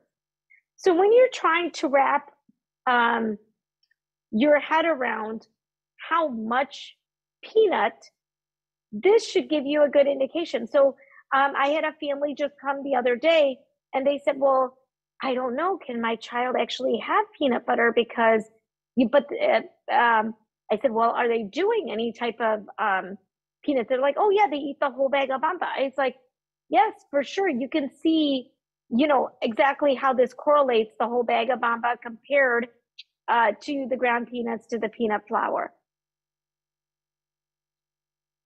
I wanted to make a point about this because this um, becomes a huge thing if we do end up having um, food allergy. And this is called food insecurity. So, food insecurity, unfortunately, um, has been shown in the literature to negatively impact the effective management of food allergy, especially in these higher risk, underserved, lower income groups. Um, it really, truly, um, it's our job in the office as providers to screen for this. Um, but as a parent, I think it's really important for you to share and discuss with your provider because maybe they don't realize. Maybe they don't realize what a difficulty it is for you to be able to read these food labels. Maybe it's difficulty in access um, from where you live. Maybe it's a cost barrier. Um, there's definitely a lot of barriers, and you know it's difficult to understand. Okay, well, if I have this, can my child eat this particular food? And the hard part is if we don't open that discussion up and we don't keep it open and um, we say, okay, if you're nervous to try it, let's try it in the office. Let's do something so that you're not so insecure, so that that child and that family has more security and has con- confidence. I do hope that we can address these factors and then help to change outcomes so that people are not so insecure and then if at a later point, if we finally say, okay, we're ready to do that oral food challenge, I've seen some children, I mean, they're terrified, absolutely terrified to do that food challenge. So how, you know, how did this, this didn't come about overnight, right? This came about from years of being told not to do it, but also difficulties in understanding what some of the foods and what is, what is secure for them. So, um, I did want to bring this up because of how important I believe that uh, food insecurity is and how big of a role, how big we need to address this. With that being said, there is so much excitement in the area of food allergy. So obviously we have talks here that are going to go on about oral immunotherapy, about cutaneous, about sublingual. Um, we are going, you know, there's biologics um, that uh, have been coupled in the studies with omalizumab and the anti-IL-33, and obviously quite a few more that are in development. Uh, there's been discussions of probiotics, prebiotics. Um, there's also uh, a Chinese herbal medication um, concoction where they are working on. uh, they are also they have also looked at this DNA left vaccine. So it's early on in um, so far in my trials, but obviously expanding from like from the lab, but currently in the lab at the moment, or or just getting out of the lab, where uh, if you give the particular vaccine, it is those uh, within a couple of weeks, those mites don't have food. So compared to years ago where it was only, oh, you have to avoid it, or oh, you have to carry epinephrine, but I don't have the money because the epinephrine is ridiculously expensive. There is so much development um, that is up and coming. And, you know, the wonderful thing is all the providers here are more than happy to link you, help you get access to that therapy. Um, and obviously the Aspen Energy Network, there's huge resources here to be able to help connect you. Um, and so I feel like this is this this is where truly our passion lies as providers because this is where we feel like hey we can change the course right even in the realm of epinephrine there's been advancement so when we look at um, when we look at EpiPen or Auvi-Q or the generic or Adrenaclick or any of these, that's been kind of the mainstay for years and years. Like I did some of my fellowship training on trying, uh, or some of my fellowship papers on um, training and teaching epinephrine and how much people retain it. But we are also seeing development, obviously, of these nasal sprays. So ARS Pharmaceuticals, Bryn Pharma, they're working on nasal spray epinephrine versions. So you may see um, the Neffy device you may have seen online, um, as well as the Bryn uh, version. Uh, the Neffy version gets to a peak concentration in about 30 minutes, um, as well as the Bryn getting in about 20 minutes. Um, Aquestive Therapeutics in uh, New Jersey is creating a sublingual. So it's almost like you the little glycerine um, breath strips. They dissolve when it's put on the tongue, and then the peak concentrations within 15 minutes. So once again, you know, we are entering this realm where there's going to be novel ways. So, you know, even when I teach epinephrine, I do make a very big point about it is not a big jab. It is not what you watch on TV, right? So if that thought occurs for you to take it, we do want you to use that epinephrine. Um, so I tell people if that thought even crosses your brain, use it, you know, and um, use it early, right? We're not sitting on it, we're not waiting. And I think that um, some of the advancement that we're seeing in this realm is going to give us that confidence too to be able to use that epinephrine early because we're not shying away because of that there's only a needle available. So this is winding us back to where uh, we're all gathered today, right? So we're all. Uh, this was when I was uh, back in DC a couple of months ago for the practice management meeting, and um, you know, you can clearly see, like for me, just like the first one represented the sunshine over Chicago, this one is representing for me all of the hope um, that we're all having gathered here today in the in um, in all of the developments, in all of the research, and everywhere that food allergy is going, and the fact that now we have this huge network, right? We have each other to talk to, each other to lean on, and each other to share our you know, share our failures sometimes as well as share our successes with. And I thank you so much uh, for taking your time today and being a part of this program. And um, I hope I can help answer any questions. Thank you.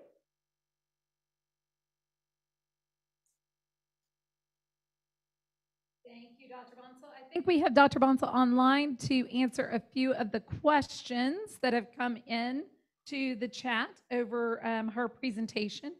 So let me see here. Okay, first question, if we've got her audio on, right, we're ready? Okay, I think. Bansal, um, can you can you, can you, yeah, I can hear you. Can you guys hear me? awesome. Yes, sounds great. I Okay. know my video, my video stopped. I don't know if you guys want that or not I sure, but I've got the audio. Okay. Yeah, I Okay. think we're okay.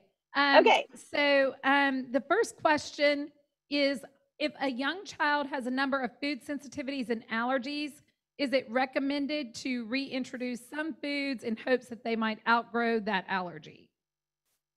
I'm I'm always a huge proponent in the clinic to reintroduce whatever we can, you know, and as long as we're doing it safely and you're doing it in conjunction with an allergist, um, you know, because a lot of us have done, you know, obviously the ones especially here who are on the call or uh, you know doing the program, we all um, we're all believers of trying to help people uh, manage as well as trying to help uh, so-called quote outgrow, right? Outgrow your allergy and sometimes it's hard. We don't just want to treat um the, i don't just want to treat your lab value or i don't just want to treat your skin test right so i'm going to go off of your clinical history look at what your reaction was look at the numbers and then think about it and say okay and make a calculated risk. Okay what am i going to do? And then obviously if we think it's okay then i'll challenge you in the office or if i think you can do it at home i'll let you do it at home.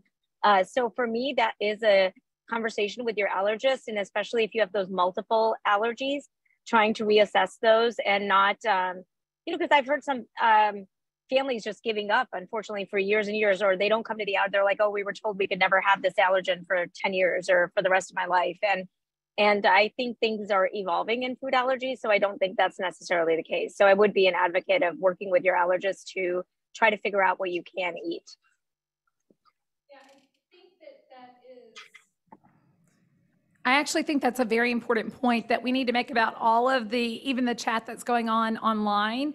You know, we are not here to give very specific medical advice or diagnosis. The point of this summit really is to support those living with food allergy in their food allergic journey, to support the medical community ha- who has interest in this topic, um, but not to provide individual medical advice or diagnosis or treatment advice. So I think that's a really important point that you bring out, Dr. Bansal.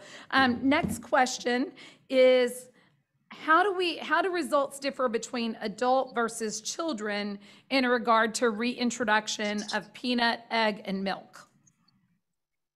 Uh, you know, I don't necessarily. I know that some people, um, you know, heavily differentiate. Obviously, we know that there are certain ages where you can outgrow, uh, uh, quote, outgrow, you know, particular allergens, um, and you know they have these set ranges.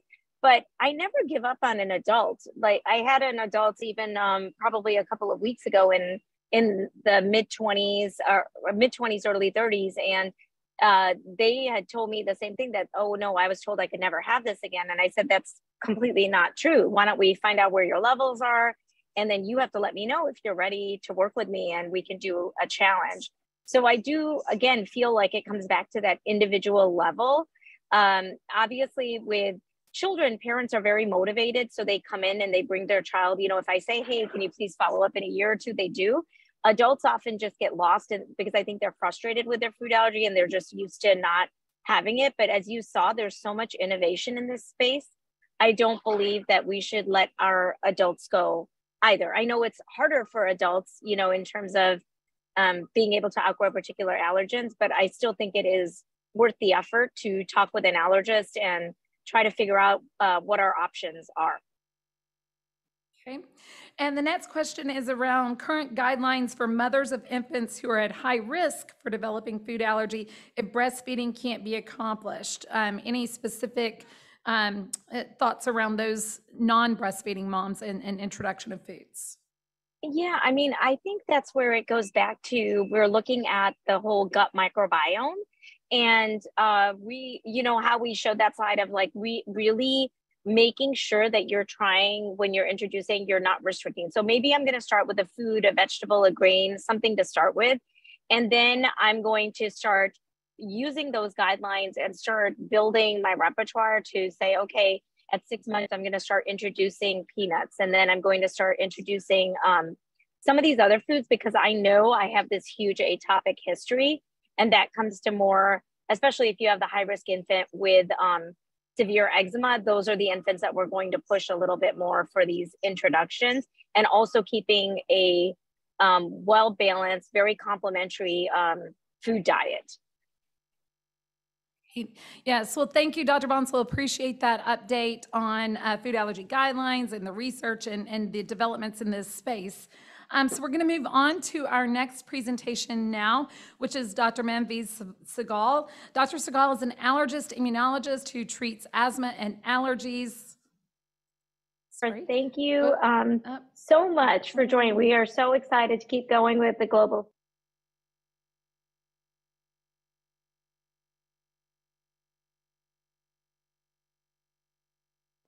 So sorry, trying to get both uh, recorded and live coordinated. Uh, Sorry about that delay.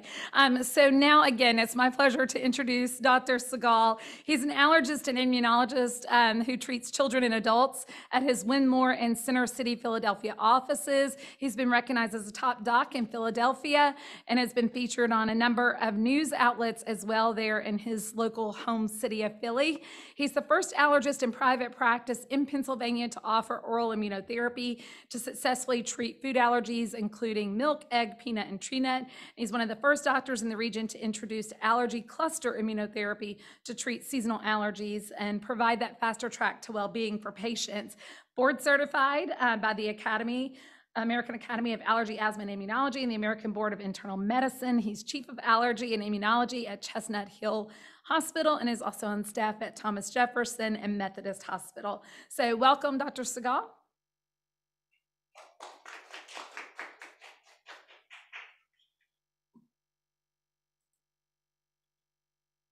Thanks. Um, my name is Manav Segal. It's a real privilege to be here and talk to you.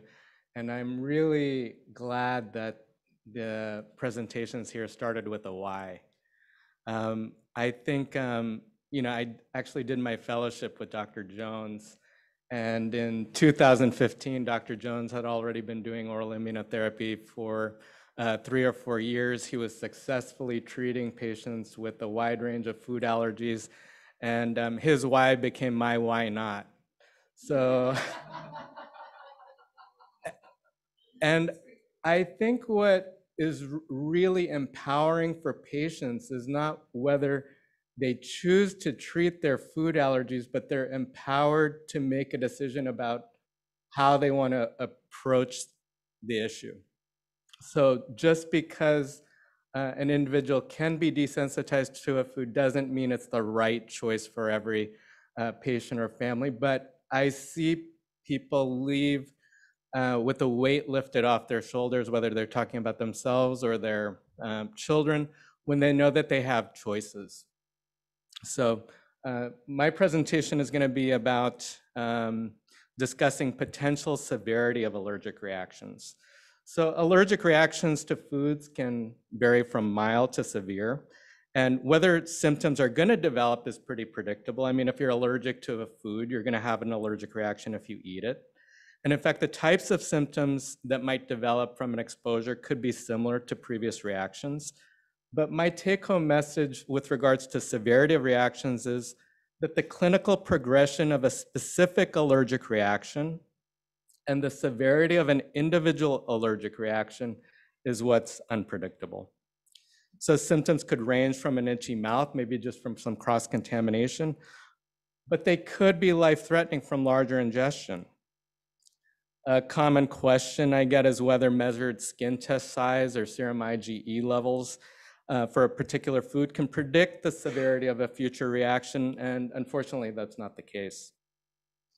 Skin tests and serum IgE levels, as we've learned, only confirm the presence of antibodies that recognize the allergenic protein, uh, but they're not helpful in predicting the severity of reactions.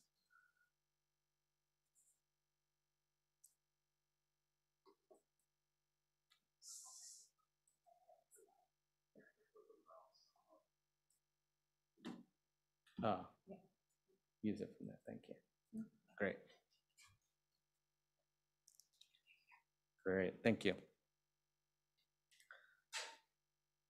So um, uh, the, the type of food an individual is allergic to can also impact the severity of reactions.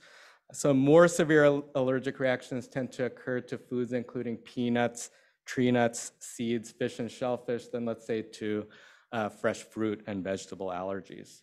So this BJ is an example of a real case, and as an allergist, these are stories that we hear every single day. So BJ was a patient I saw just within the last few weeks who tried cashew for the first time. He's a four-year-old brought in by his parents. He had seasonal allergies, he had a history of eczema, but he had no known history of other food allergies. And within minutes of eating just one cashew nut, he developed eyelid swelling, lip swelling, and cough. He developed diffuse hives. He was taken to the emergency room where he received epinephrine. BJ had an anaphylactic reaction. Anaphylaxis is defined as a serious allergic reaction that's rapid in onset and may cause death.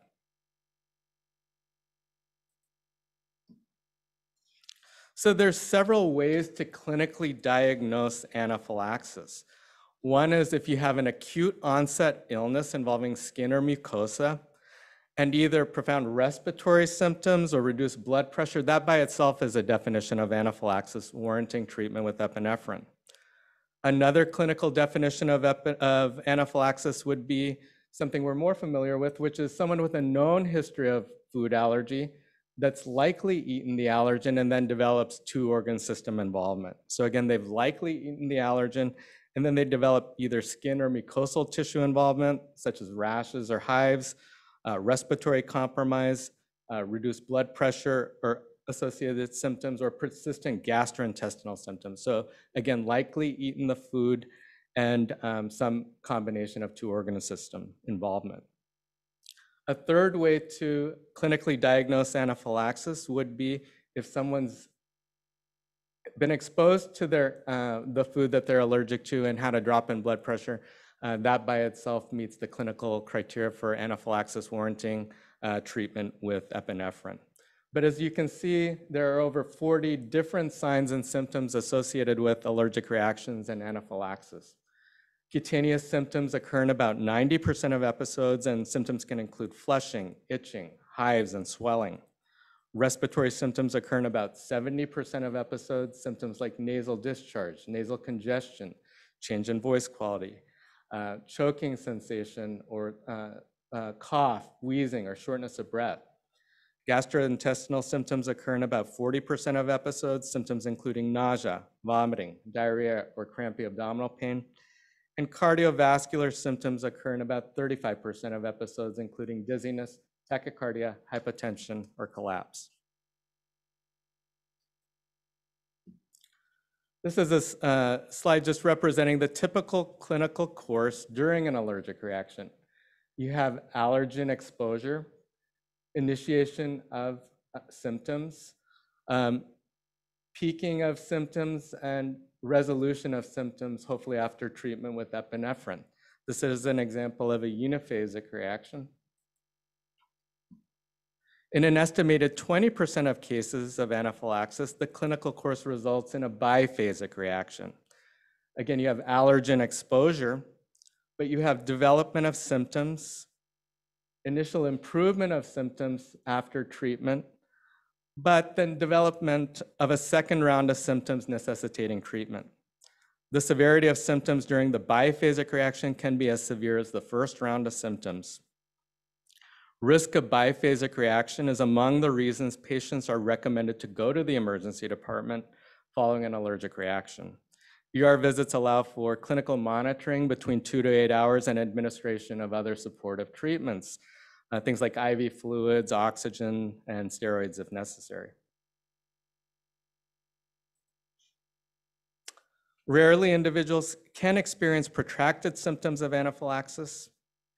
In this case, symptoms don't respond to individual doses of epinephrine, and an epinephrine drip and ICU monitoring may be needed. Protracted anaphylaxis can be associated with uh, poor prognosis.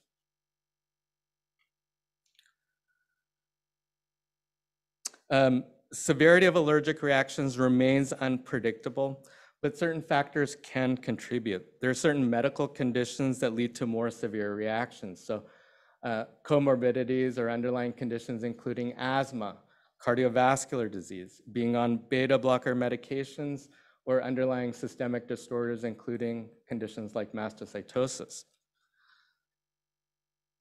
It's not necessarily a comorbidity per se, but I also consider being a teenager uh, to be a risk factor for more severe reactions.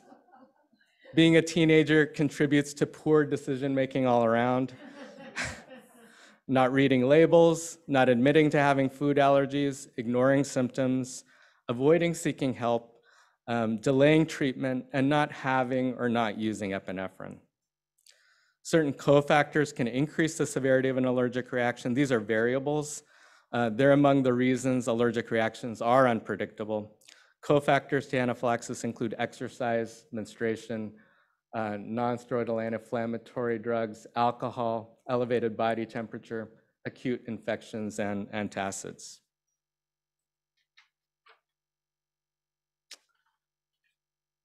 Diagnosis of anaphylaxis is made clinically. Some danger signs for more um, severe reactions include rapid progression of symptoms, respiratory distress, including wheezing, increased work of breathing, persistent cough or stridor, uh, persistent vomiting, hypotension, dysrhythmia, chest pain, or syncope. Acute management is epinephrine. So epinephrine is the first and most important therapy in anaphylaxis. There are no absolute contraindications to epinephrine in the setting of anaphylaxis. That means there are no reasons not to use epinephrine. There are many physiologic benefits to epinephrine that counteract the events that occur during an allergic reaction. During an allergic reaction, blood vessels dilate. Epinephrine helps blood vessels to constrict again. During an allergic reaction, blood pressure drops. Epinephrine raises blood pressure. During an allergic reaction, mucosal tissue like that in the throat swells. Epinephrine decreases mucosal swelling. During an allergic reaction, airways constrict. Epinephrine is a bronchodilator. Epinephrine increases heart rate and force of cardiac contractions. Epinephrine even stabilizes allergy cells called mast cells and basophils and decreases histamine release. So you can see epinephrine is the ideal antidote to symptoms that develop during an allergic reaction. The sooner it's administered, the more effective the results. And delayed administration is among the reasons for poor outcomes. So in summary, anaphylaxis is defined as a serious allergic reaction that's rapid in onset that can be life-threatening. The clinical progression of a specific allergic reaction and the severity of an individual allergic reaction is unpredictable. Lastly, epinephrine is the first and most important therapy in anaphylaxis. And I just wanted to thank you for your uh, time and attention. Thank you so much. Segal, wonderful. Um, so whenever we talk about this particular topic, um, it, again, I, as I said in the opening comment, some degree of subjectivity, right, around is it a mild reaction? Is, is it a severe reaction? Um, we have often, you know, gone to that, if it's more than one system in play, act, right?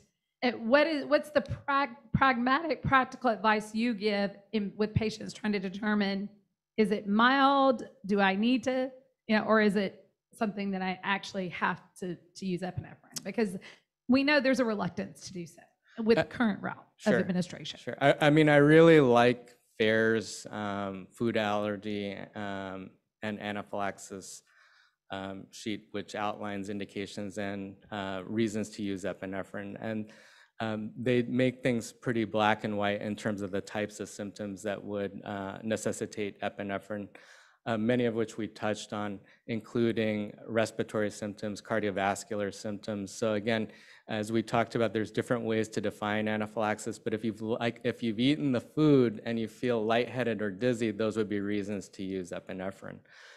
There are no reasons not to use epinephrine, and in some ways, um, you know, when we perform oral challenges, and if a, a patient has symptoms, and even if they're mild symptoms, if we end up using epinephrine in the office, it actually ends up being a good thing because it reassures the patient uh, that epinephrine works, uh, it works quickly, um, that it's not painful, um, that the um, benefits in terms of how quickly they feel better outweigh any sort of um, adverse symptoms that they may uh, experience. And um, so I'm just saying that um, um, use of epinephrine is very, very well tolerated. It works very quickly. And I'd rather have a patient use it uh, uh, at the onset of symptoms um, um, rather than wait. It's the delayed use of epinephrine that creates problems. Uh, the further the reaction progresses, the less likely it's going to be uh, uh, be effective. Uh, one other take-home message, since I have the opportunity, is patients associate using epinephrine with going to the emergency room. In fact, they won't use epinephrine because they think, okay, if I can manage this without using epinephrine, then I don't have to go to the ER. And I try and remind the patient they're going to the ER because they ate something they're allergic to, not because they used epinephrine. All right, and that there are no downsides to it, and that um, they're going to feel better faster. Um, That's so an important point of just uh, alleviating that, you know, myth or misperception about the use of epinephrine. That it's not the use of epinephrine that is the recommendation to go to the ER. It's actually the ingestion of food. right, The, the risk of a secondary reaction, right? correct. Um, what, whenever we talk about this, we also cannot um, talk about this without touching on the use of Benadryl. Um, and I shared it in my opening story. Uh, you know, I know it wasn't the best, but it was the best I had at the moment. Uh, but oftentimes we hear patients who go who their go-to is Benadryl at the first sign of reaction. Um, can you speak about why there that's not a good idea and what the risk associated? Epinephrine addresses the symptoms that develop. Um, uh, you know, I think um, one thing that we and uh, patients know firsthand is not all allergic reactions are the same. So there are certainly circumstances where someone has had cross contamination and they have mild symptoms.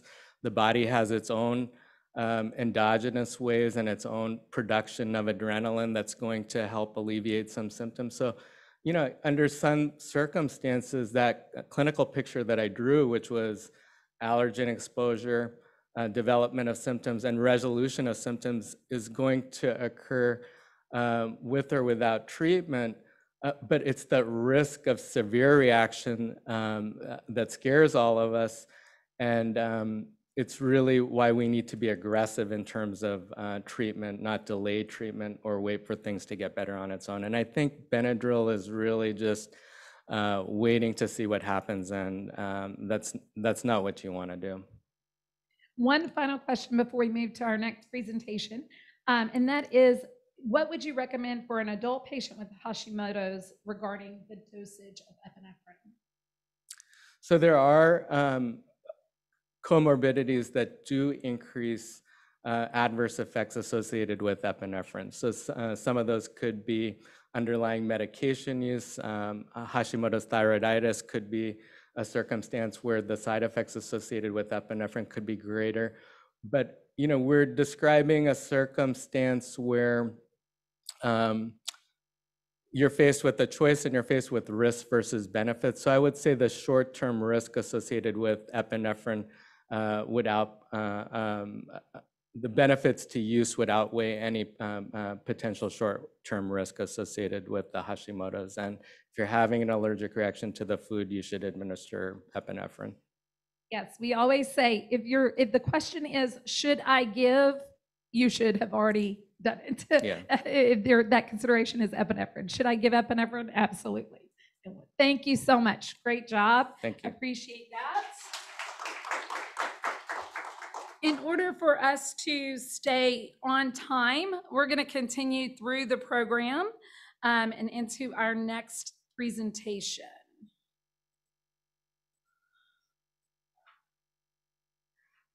Okay, so our next presentation is a recorded presentation by Dr. Nicholas Papadopoulos. Um, Nikos Papadopoulos is a world-leading expert in allergy and asthma, focusing on the role of infection and its interaction with atopy as keystone events of the allergy pathophysiology, as well as targets for treatment. In the course of uh, Dr. Papadopoulos' career, he's identified some of the key mechanisms leading from common viral exposures to asthma exacerbations and allergy persistence. He's professor and head of allergy at the University of Athens and is also the honorary president at the University of Manchester at OPRI Singapore. He's supervised more than 20 PhDs, organized over 100 educational events, trained doctors throughout the world, and invited speaker at international events more than 30 times a year. Um, he is the editor in chief in Frontiers of Allergy and associate editor of Clinical and Translational Allergy. So we are so honored to have Dr. Papadopoulos uh, from Greece. He is an amazing advocate, and I have enjoyed working with him both US and abroad. And now we're going to hear from him about maternal diet impact.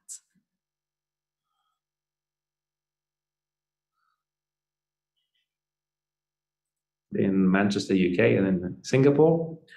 And here in the next slides are my disclosures. I don't think they're related in any way with the content of this talk. But I will have to start with uh, expectation management because uh, starting from quite some time in the past, there have been promises that one can consume a food or a potion and somehow magically he will get completely healthy or he will get over any of the problems that they might have. And lately, with the digital media, with internet, with social media, you have this attitude intensified. So basically, you can find over the internet with Google any kind of food that people claim that's magic and of course, this is really difficult to compete with because science has to go through specific steps and needs to be certain in order to say that you can use this approach, either a food or a medicine or whatever, for treating or preventing a condition.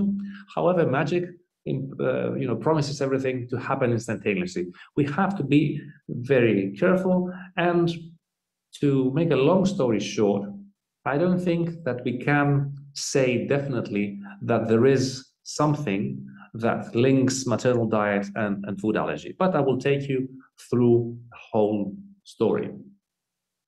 Starting from the elements that make this question really very complex and not so straightforward to answer. It's not about, you know, eating peanut or not eating peanut. And we start with the first element of complexity, which is time. So when are we uh, thinking about having this food eaten or not eaten? Is it during pregnancy? Is it before pregnancy? Is it after pregnancy?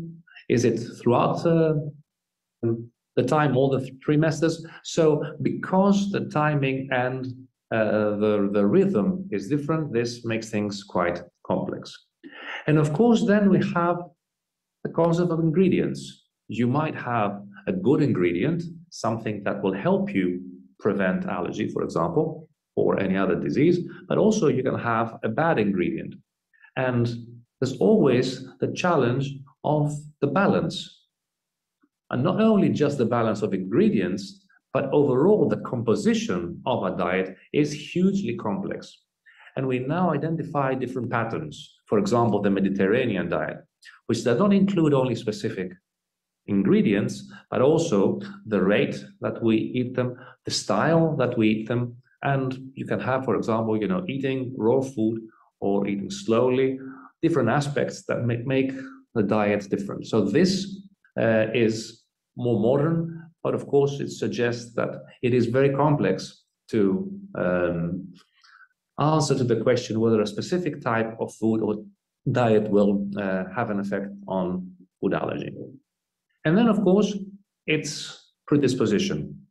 And predisposition, not only for a disease, whether one has a disposition of the genes, for example, and is more susceptible to become allergic or not, but also whether they are more predisposed or less predisposed to interact with a certain food. So it might be that a person might be more susceptible to uh, the effects of a specific ingredient rather than another person. And this goes towards personalization, which makes things highly, highly complex. Finally, we need to think about outcomes. And this is a very important point because the topic of the talk is about food allergy, but we all I think that we all agree that it's not only about food allergy, but it might be about overall health and different types of allergies. It might also be an overall health. So who would want to avoid one type of condition in order to get another type of condition? So it is very important when we look at the evidence whether there's something that will generally help us become healthier or whether there's something that will be particular to a specific disease. And now we get specifically into food allergy. Food allergy, we all recognize, is an important problem, something that affects the lives of many, many people around the world, and particularly in cases where food allergy is severe, is life-threatening, it influences very much the quality of life. On the other hand, what is very important is that food allergy is a relatively uncommon condition. And when I say uncommon, in comparison to other allergies like allergic rhinitis or asthma. And in fact, what's important is that there are at least 10 times more people who think they have a food allergy rather than the ones that actually have if they go through the, um, the medical procedure in order to evaluate and diagnose it. Of course, people who think they have food allergy also have uh, an effect on the quality of life.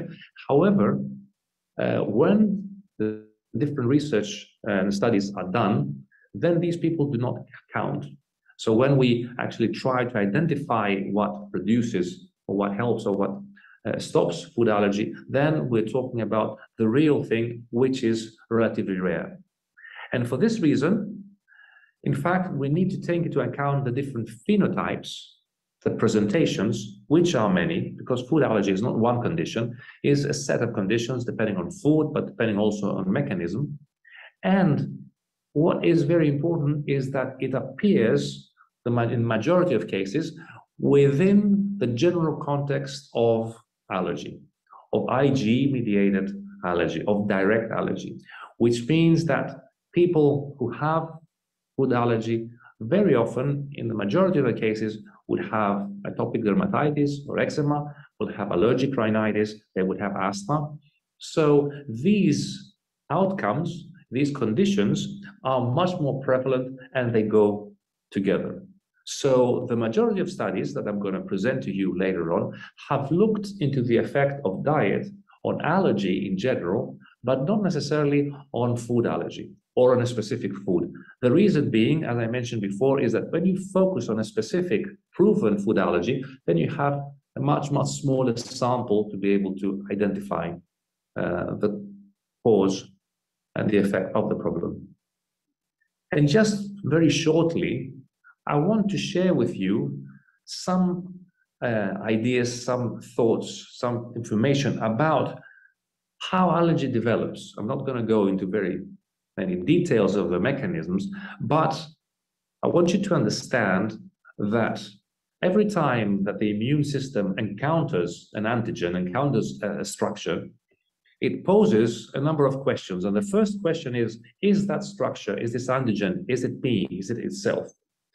Because we do face, and the immune cells face every time, every, every day, many, many times, uh, self-antigens. So if it's me, then I don't have to do it. Then I need to be tolerant against myself. And this happens with a number of mechanisms that we know of. If it's not me, then, however, we need still to decide to do with this antigen. And then the question is posed whether the antigen that the immune system sees is harmful or not. So if the antigen is not harmful, which is the majority of cases, then obviously, again, we need to develop tolerance. We need not to have an immune response against it.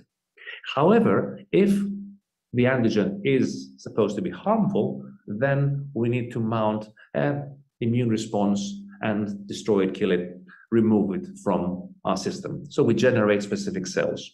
So when this decision is taken, what is important is the local environment when it happens. This can happen in the skin, can happen in the gut, can happen in the respiratory system when all the different uh, antigens come in. And it's very important what the local environment is at the time when the antigen is presented. And we know now and we understand that if the environment where this contact happens is inflammatory, then our immune system understands that this might be harmful, might be dangerous, and this promotes allergy. And this is important for a discussion uh, further on. So there are many aspects around diet uh, and uh, the relations between diet in women and their offspring. And one question that has been posed by the EAACI task force, an important question, is whether diversity in diet or the quality in diet during pregnancy may affect different allergy outcomes in infants. So they looked into the availability of different studies and they have looked into different possible outcomes and they found out that most of the outcomes that were studied were asthma, rhinitis, eczema, but not food allergy. And unfortunately, there were not no data specifically on diet diversity, but there were some data on specific diet patterns. For example, the Mediterranean diet. And here you had one good study of good quality that showed that this Mediterranean diet could be protective for wheeze and for allergy in general, for atopy, but not all the studies have proven that, have agreed. And then the other thing that I found is that any effects that they were identified were slightly more prominent when they looked at the infant diet rather than the maternal diet.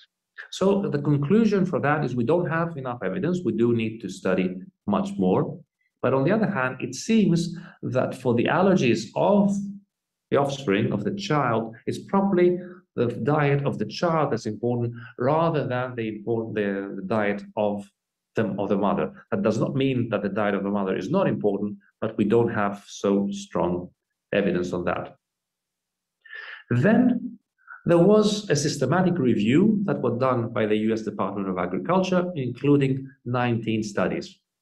And they tried to see whether there were associations between uh, uh, specific foods, so they asked about specific foods, and the development of allergy Uh, and food allergy in the offspring. And they had basically three different categories. One was limited evidence, the other one was insufficient evidence, or no evidence at all. And as you can see here, there was, they found some limited evidence showing that soy is not linked, so the consumption of soy in the mother is not linked to food allergy in the offspring. The evidence that they found for milk, peanut, egg, and wheat was insufficient, and there was no evidence for other foods. And there was also limited evidence that there was no link in regard to different foods for eczema and asthma. So very little data, which uh, highlights, you know, both the complexity and the fact that we cannot be certain that any food can actually generate or protect from food allergy. And this is reflected in the guidelines, particularly when we have realized that previous advice to avoid food A or food B because of the potential allergenicity did not stand. The data was not good enough, and it does not seem to have any link between the, the consumption in the mother and the development of allergy in the kids. So currently, practically all the guidelines do not suggest to avoid any kind of food in order to prevent food allergies. And this is particularly for nut, milk, egg, so the, uh, the substances that usually are associated with allergy in kids. Whether the mother uh, consumes them or not is related to her choices on, uh, on diet and not to the possibility of the child developing food allergy. But of course, as I mentioned, we need more studies. We need to try to explore associations. And here, Carina Venter and colleagues have actually tried to develop a new instrument, a new type of approach in order to explore these associations. And they used uh, information, they used data from a number of mother-child pairs in the US. And they developed an index, which is called maternal diet index, which is based on different food consumption. And this index was actually being uh, able to was able to balance between the foods that were more prone to be associated with food allergy in uh, with, with allergies, sorry, in general, in the offspring, and the ones that were associated with less. So there was some association there with allergy outcomes, but not food allergy. So what they have found is that consumption of yogurt and vegetables were associated with a reduced risk of developing different allergies, while fried potatoes, grains, meat, fruit juice, cereal were associated with increased risk. And I need to point out here that what we see here is association. Doesn't mean that this is the cause of these allergies. It's the fact that people who happen to consume, for example, yogurt or vegetables are the ones that the children have less allergies. And it's quite possible that there are many other things that people who choose to consume more vegetables do, so that this whole attitude, this whole pattern might be associated with the protection rather than the specific food itself. And there are a few other studies. For example, I'm going to give you an example from uh, a study coming from Korea, North Korea, uh, South Korea, uh, with about 2,500 um, mothers and uh, kids were there. Again, they did not try to evaluate specific foods, but rather diet patterns. And there were different diet patterns that they have associated. There was one specific pattern that was associated with sugary and baked products. So uh, pregnant women were consuming a lot of sweets, ice creams, etc., etc. And these also, it happened that in the same uh, group, they also consumed high trans fats. And this was, in fact, linked to an increase in food allergy to a considerable extent by about 80%. So it was almost doubling uh, of the cases of food allergy, again, an association. But what they have found is that this effect was evident in infants that have specific genetic markers, which includes one more element, the element of susceptibility, as I mentioned in the beginning, where it's not everybody that will have the increased risk, but if you have a genetic susceptibility and then it happens that your parent has uh, a specific type of diet, then you're more susceptible. But it should be noted that these mothers also breastfed their infants more. So actually, the way that uh, the effect of the diet happened, either during pregnancy or uh, afterwards, is something that we don't know. And of course, as I mentioned in the beginning, is not only about maternal diet during pregnancy, because maternal diet here, in this case, before pregnancy, was shown that there is a possibility that it might affect allergies and asthma. And this was more than a thousand mother-child pairs in France. They were followed prospectively, and they had answered food frequency questionnaires focusing on specific foods. And here, what they found is that there was uh, some relationship with asthma, rhinitis, and eczema. Again, not food allergy. As I mentioned, because probably food allergy is a small number, is a small proportion of these patients. However, vegetables, eggs, grains were associated with reduced risk of allergy, and meat was associated with increased risk. So I will here try to conclude saying that during pregnancy, we don't, we, we believe that there are no specific foods that can prevent allergies, but also no foods that can induce allergies. So the, the guideline is that women should not exclude any food expecting that this may prevent allergies of, of their children. Overall, what we see and where research is being directed and we need to put more effort is to describe the association between a healthy and balanced maternal diet and the prevention of different types of allergy, including food allergy. And this is very reasonable to happen because this healthy, balanced diet actually is associated with less inflammation. So less inflammation makes the environment in which any antigen is presenting more friendly and reduces the risk about the risk of developing allergies. So if you want to take away message is that please don't avoid anything or don't try or don't be convinced that if you have a magic food, then your child will not develop uh, an allergy. Eat more fruit and vegetables and nuts as is part of a healthy diet. Eat less meat. Try to keep your BMI between 18 and 25. Uh, eat slowly. So generally follow uh, the, the ideas and the direction for a healthy diet. And this will, in fact, reduce the risk for children and the whole family developing food allergies. And with that, I would like to thank you very much for your attention. Thank you, Dr. Papadopoulos. That was wonderful and really appreciate you joining us uh, online here. We do have our first question for you. So the question comes uh, and says, what about the impact of maternal diet on the development of FPIES? So perhaps you just explain what FPIES is and then respond to the question. Yeah, so, so thank you very much for the, for the question. Uh, uh, stands for, for food protein induced enterocolitis syndrome, and it's a non-IgE mediated food allergy, uh, which means that you don't find these antibodies, the IgE antibodies, they're not the cause of this allergy, but there are specific cells, and uh, you have uh, the clinical presentation of enterocolitis. Uh, it can be presented with uh, with vomiting and with diarrheas. So uh, no, we don't. As th- this is even more rare than IgE-mediated allergies.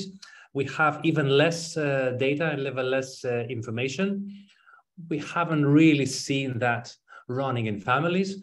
But in any case, we don't have studies that have shown some kind of association of FPIES with anything else. Actually, the only case that we have association with FPIES is on cases where uh, we try to induce, we, we try to push people with uh, some kind of uh, food in terms of desensitization, and there you can get either eosinophilic diseases or some types of uh, enterocolitis conditions. But uh, no, there is no way of protecting, and actually, uh, it is quite rare if you have an FPIES that your child will also have FPIES. Great, thank you. Um, so the next question is actually maybe a little bit related to the previous topic, but I think you'll be able to respond to it. Uh, and Dr. Papadopoulos, here in the U.S., we have these ready, set food commercial lines to introduce new foods to families or to high-risk patients. Um, any comment that you have about their ability to be helpful to prevent or uh, certainly to introduce early foods? And I know we'll talk about this a little bit more in the next presentation with Dr. Mack as well on early introduction of foods. But your thoughts? Yeah, uh, well, I cannot comment on specific products because I'm not aware and don't know the details of the products, but I have the impression that these products are based on the principle that it is good to introduce uh, different types of potential allergen early. Uh, because that will increase the chances for developing tolerance. And it's just as if you were you know doing the job right and you were giving all the different types of so you were giving a diverse diet to your child and you were also having a diverse uh, diet. And so it, it is possible that these preparations can serve this uh, purpose. But of course if you are planning so if you do have a healthy diet within your household they might not be necessary Right, exactly. And I think that that's the important point is is in your talk regarding a maternal diet and the impact, uh, but also in the early introduction is is whatever is culturally the norm and acceptable, a healthy diet for healthy mom and healthy child, introducing without those high risk factors. Thank you so much. Um, one final question about vitamin D during pregnancy: Is that an effective way to prevent food allergy in infancy? Well, not necessarily food allergy, but uh, you know, having deficiency of vitamin D can generate problems on susceptibility to infections, susceptibility to allergies. So it is good to actually have uh, levels of vitamin D within the normal limits throughout life and particularly during pregnancy. So it depends. So it's not for everybody to just take a lot of vitamin D. It's not some kind of superfood, but you should not be deficient in vitamin D, which happens to people that are not exposed to the sun, that do not eat foods that would contain uh, enough vitamin D. So, uh, yeah, it, it's within the development of a healthy immunity, it's good to have normal levels of vitamin D. Excellent. Thank you so much, Dr. Papadopoulos. Uh, really appreciate your expertise in joining us today. We're going to move on now to our next presentation. Uh, and our presenter is Dr. Douglas Mack, and he's going to be speaking about the early introduction of foods and LEAP. Dr. Mack is a pediatric allergy, asthma, and immunology specialist, the assistant clinical professor in the Department of Pediatrics at McMaster, the principal investigator for Ontario Pediatric Allergy Research Cooperation. He sits on the board of directors of the Canadian Society of Allergy and Clinical Immunology and is on the executive for the section of allergy for the Ontario Medical Association. He's the co-author of clinical guidelines on the prevention of allergy, epinephrine, and anaphylaxis for the Canadian Society, and is the editor of the first North American Manual of Oral Immunotherapy on Food. We are so excited to have you, Dr. Mack. Thank you so much for making the trip from Canada, and we'll introduce you, have you to the podium. Thanks, thanks very much. And I think, you know, one of my whys, obviously, I think when we got into allergy, food just had so little guidance uh, to provide for our families, so little solutions.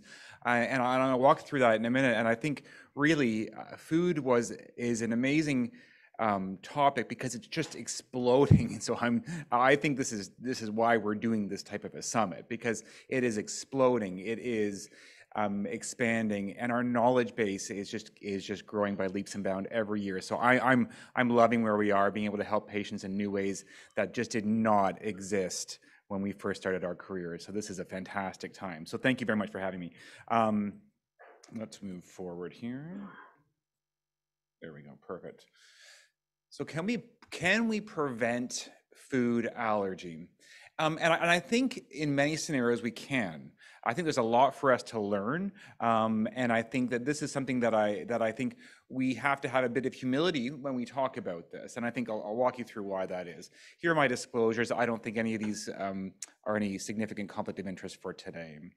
Um, so let's talk about what brings us to food allergy. So what contributes to a patient having food allergy? Because that, if, if we can understand that, we can understand how can we prevent it. And, and Dr. Jones and others have started talking about this um, to some degree, and Dr. Bansal as well, um, Dr. Papadopoulos as well. And clearly, there's a genetic component to the development of any form of allergy. You know, allergic parents, this is kind of our mantra, you know, allergic parents make, in general, allergic children. That doesn't mean that an allergic parent who has peanut allergy is gonna make a kid who has peanut allergy but the but the, the phenotype this kind of atopic allergic tendency is something that we do see inherited okay? So there is a genetic component and that may be, rela- be related to filaggrin as dr jones had mentioned earlier in, in this summit.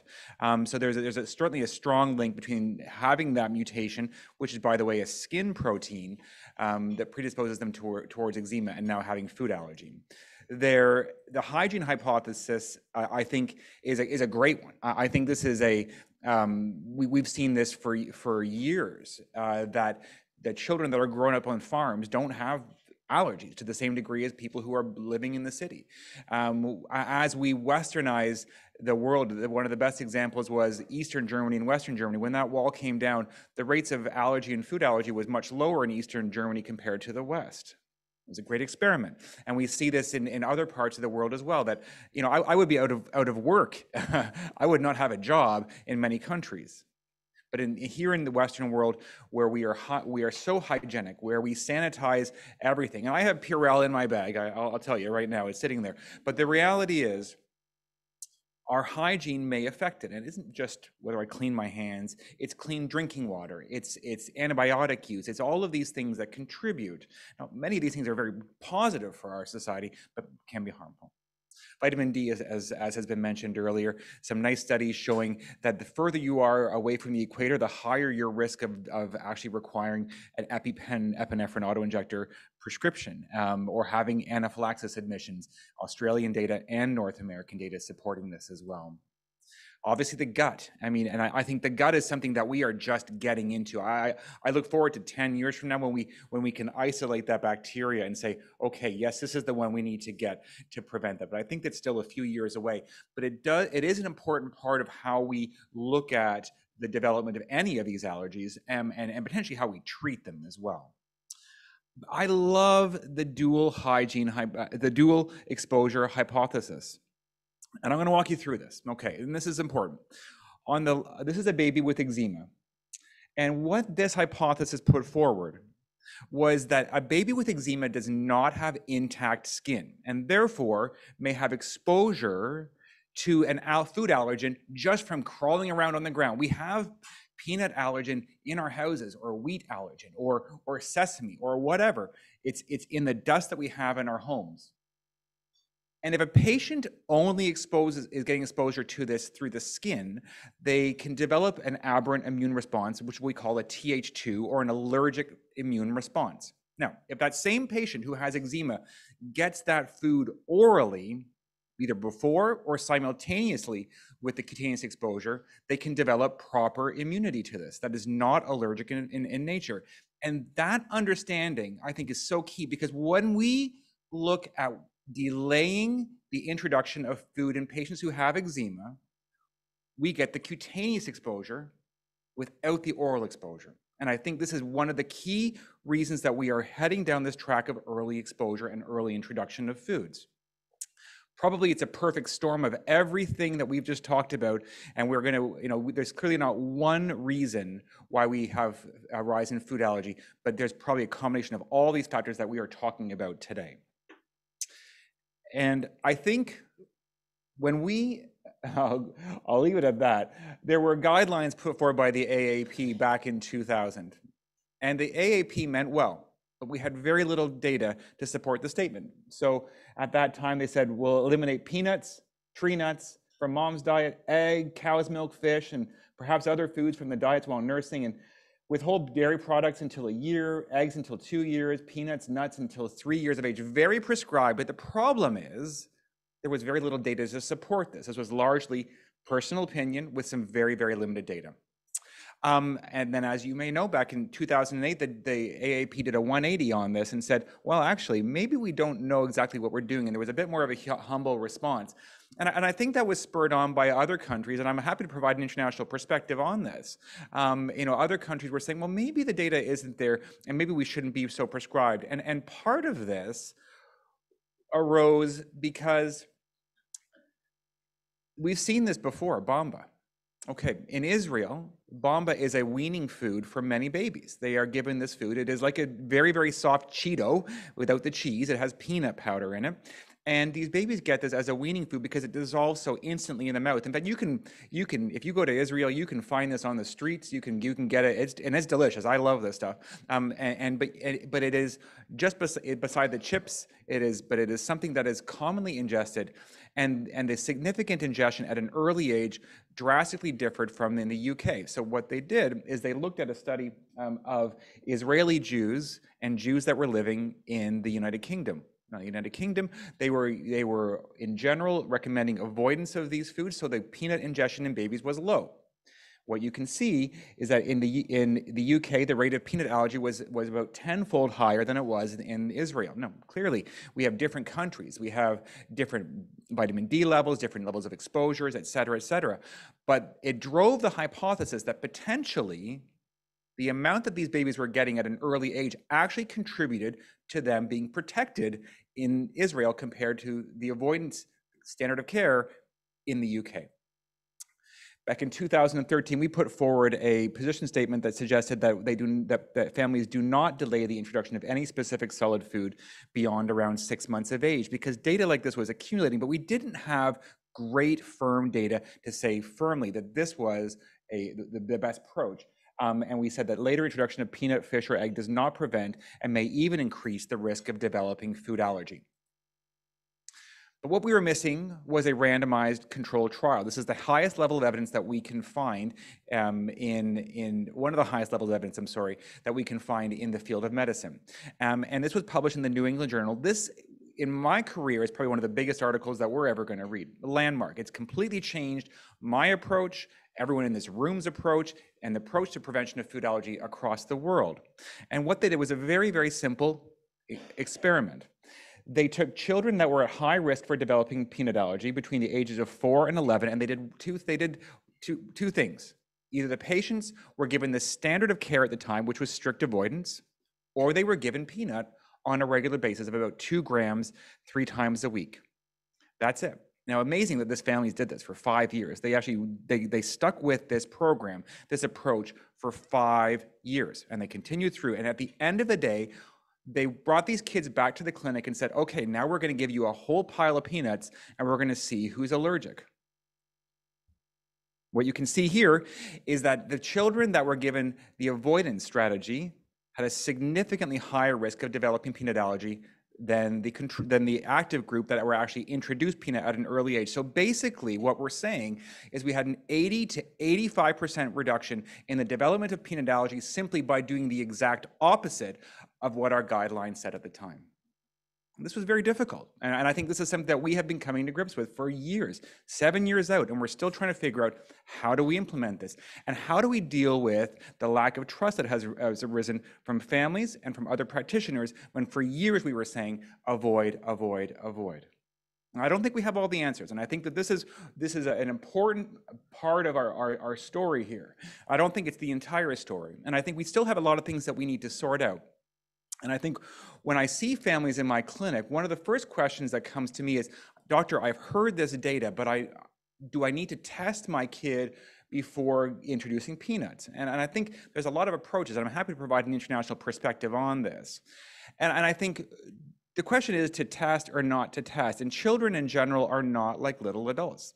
Are unfortunately, we have very, very poor predictive value. We have very no normal values for, for skin tests and blood work for infants at the age of six months of age. So what we do is we extrapolate from older individuals, which may not be actually all that accurate. We, as has already been discussed by Dr. Shah, there are many false positives and false negatives already in the field of allergy, and in infants, it may even be more significant. Now, what is really tricky here, and I think this is something to really grasp, is that delays that are associated with um, with waiting for the consult to get tested, getting the blood work, getting the skin testing, and then potentially coming back to the office to introduce peanut, that may take months, as you might know. You know, and, and I think this is not a this is not a quick process. Certainly in Canada, it may take a little bit longer than in the, in the United States, um, but that delay is not significant. And that delay may actually be the be the be the difference between developing peanut allergy and preventing peanut allergy. So I, I we take a very different approach as we've kind of wrestled with this and in the past. In other countries, like in Australia, in fact, Australia, as, as Dr. Bansal was talking about earlier, actually says, we're not testing, get peanut into these kids. And what they found, this is amazing. I love this abstract. On the top, you can see in between 2007 and 2011, less than three in 10 infants were introducing peanut before the age of one. After they introduced those guidelines saying just get it in, nearly nine in 10 infants were introducing peanut into the diet but, eh, eh, before the age of one. And this is within one to two years of introducing a set of guidelines based on this. Very, very simple, no testing, just get it in. Something we've struggled with for many, many years. I don't think there's a right answer, depending on the patient that we're dealing with. What we know is that in office and even virtual introductions can be supported, but most can be done at home. And so, what we actually did during the COVID pandemic, when we couldn't get kids into our office to introduce these foods, is we offered it virtually. We would support families where they would kind of do it with us online. The reality is, the vast majority of these kids did extremely well. And in fact, what's interesting actually in the LEAP study is that in the patients that introduced peanut early, there were no cases of anaphylaxis. Can you guess which group had anaphylaxis? The group that avoided. In early infants, we know that the risk of reaction is very, very, very low, and that fatal reactions has never been reported. And I'm going to just say it, put it out there, because that's what we're all concerned about. We don't want our kids to have a severe or fatal reaction. In fact, in the Australian data, there was only one patient who had potential anaphylaxis, and that patient went on to actually pass a food challenge at 14 months. So probably they actually did not have a severe reaction to begin with in the first place. So in general, for infants, this can be done very, very safely. Eggs is a bit of a mixed story. There's, as, as Dr. Bansal was talking about earlier, there are, about, there are five studies looking at egg allergy prevention in early introduction. This was one that showed a substantial reduction in, in um, egg allergy by early introduction, but the other studies are not quite as strong. And I think we're left with a bit of a mixed story here. Certainly, many of our patients may benefit from this, um, but in general, our, uh, this is where part of our, you know, our mantra of early introduction starts to fall apart a little bit. Um, we have compiled a table of kind of what we do know based on a level of evidence. And certainly peanut at the top there is beneficial for prevention. In the middle, you can see that egg is probably beneficial, but we just don't know quite how much to give, how early to give it, and what is the dose that we need to give. Milk, we have a number of randomized studies that are of mixed quality. Um, and so the rest of them, wheat, milk, sesame, seafood, shellfish, et cetera, we really don't know. Same thing with tree nuts and soy. And this is something I think that is really challenging for us because now we have one peanut, one randomized trial for peanut. We have um, two for milk, five for egg, and one for a mix of foods. And we have some mixed results. The best one so far has been for peanut. We have very little to do with tree nuts from a prevention perspective, but this was a study that looked at, the prevalence of, of tree nut allergy and nut and seed allergy in European populations. And they show that obviously that there was a high degree of, of co- coexistence of a number of these food allergies in these patients. But what was really amazing, and if you look there at the top, that age was a significant predictor of multiple food allergies, and thus the secondary spread of nut allergies occurred in older children. What this means is that these children that were avoiding the tree nuts because they had the word nuts in their name actually developed further food allergies simply during the avoidance process. And, and I see this on a regular basis that kids come in, they have negative skin testing. They come back two years later, they haven't introduced the food. The skin testing is now two to three millimeters. They come back two years later, now it's six or seven. They come back another two years later, it's 10 millimeters, and these kids have anaphylaxis. And I think this is something that we see clinically and we're seeing it in, in now in European studies as well. I'm waiting for the randomized trial. Finally, I think one of the, the questions that was brought up earlier is whether to consider conventional versus commercial uh, introduction. There are commercial products that are out there. Um, some families like the convenience of that. Um, surely conventional products where you simply give them peanuts, let them eat, let them eat cake, uh, let them eat peanuts. Peanuts cost peanuts. They're literally co- cost nothing. They're very inexpensive, whereas commercial products are more expensive. Um, some families like the fact that they don't have to prepare. They don't have to think about it. They know that they're getting what their kid needs at an early dose. So there's there are pros and cons to this that we published just recently. Overall, we have some. We don't have great data to show whether these are effective or not, but in general, there is some data to support them. Finally, the questions I think that we need to look at are are all foods the same? Clearly, they're not. And I think this is something that we, we are wrestling with all the time. For example, why in Israel is sesame allergy so high when they introduce um, sesame early? Are siblings at greater risk? If you were to ask physicians across Canada, what is the number one risk factor for developing peanut allergy? It's family history. When in reality, it's one of the weakest risk factors for developing peanut allergy. In fact, as Dr. Bansal had mentioned, probably the avoidance that is occurring in homes where, where children have a, an- another sibling with peanut allergy leads to the development of avoidance in the second in the secondary sibling, and unfortunately, that can lead to the development of peanut allergy. And there's lots of data to support that. Do we really need to test? What dose do we give? I mean, two grams of peanut protein is, is about eight peanuts. That's a lot of peanuts for these kids to get on a daily, regular basis. But what do I do if I have to eat peanuts and almonds and hazelnuts and walnuts and cashews and everything else? These kids are going to be just full of nuts, and that is reality. It doesn't make any sense. How long do we give the food for? Do we have to eat every food? And then finally, as Dr. Wasserman um, and Dr. Carr are going to talk about what happens if they still develop an allergy, because despite our best efforts, kids still develop food allergy. No matter what we do, it isn't just early introduction. There's a perfect storm happening. As Dr. Jones has said, this is a the real pandemic, and it is happening. And I think the, the, the challenge that we face is how do we humbly advise our families to help them prevent and treat these allergies? Thanks very much. We have some questions coming in. Amazing, Dr. Mack, enjoyed that. So the first one, is there any research that you're aware of comparing pasture-raised chicken eggs versus supermarket eggs specifically? I can't think of it specifically. I can think of some data with raw milk, uh, but I can't think of any data with eggs specifically. Yeah, good question. There. I- Yeah. Yeah, I don't, I can't remember anything I've read Yeah, either. And no. I see others here in the room shaking their head the same, yeah. so. It's a great question. Great and I, and I- question. hey, let's do a study. Yet another question to be answered. All right, what are your thoughts about sanitization during COVID that Mm. result, COVID result in a spike of food allergy in new generations? Do you This think that- is fascinating. Yeah. That's a great, great question. My colleague, Dr. Jonathan Hourihane in the in Dublin, um, is actually researching this. So he has a cohort now that is looking at um, what is going to happen with these babies, and he's enrolling about a thousand babies um, early on, and is going to look at that specifically. So stay tuned. We will have good data. I hope to support that. But you're right. COVID is just you know a another. It's a natural experiment. You know, we're all of this is an experiment, and this was a very good experiment that just was thrust upon us. And so hopefully we have that data soon. Absolutely. All right, one final question before we have to move on. Is it possible for a parent with food allergies to prevent having a child with food allergies? Absolutely. And I think once again, um, the perception, even amongst physicians, is that a familial, a pa- parent family history or a, a sibling family history is, is actually a major risk factor, and it does not appear to be. And I think the most important thing in that scenario is to get counseling on how to safely introduce that. We get it. We want mom and dad to be safe. We want the other children to be safe.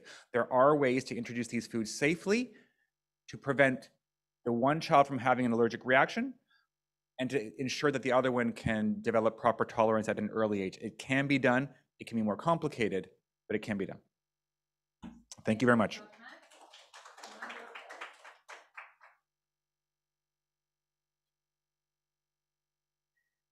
Really fascinating. I, you know, so I, um, part of my why uh, as well, beyond Carson, is, is the next generation. I, I said earlier, I'm the mother of five.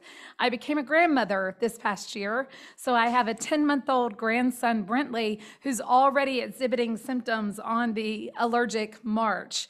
And uh, we've had this whole conversation about early introduction of foods and what should we do and, you know, high risk and low risk and all of this. So I'm going through this with my own family now about, you know, when to introduce foods. And, and I really appreciate that perspective. Great job, Dr. Mack.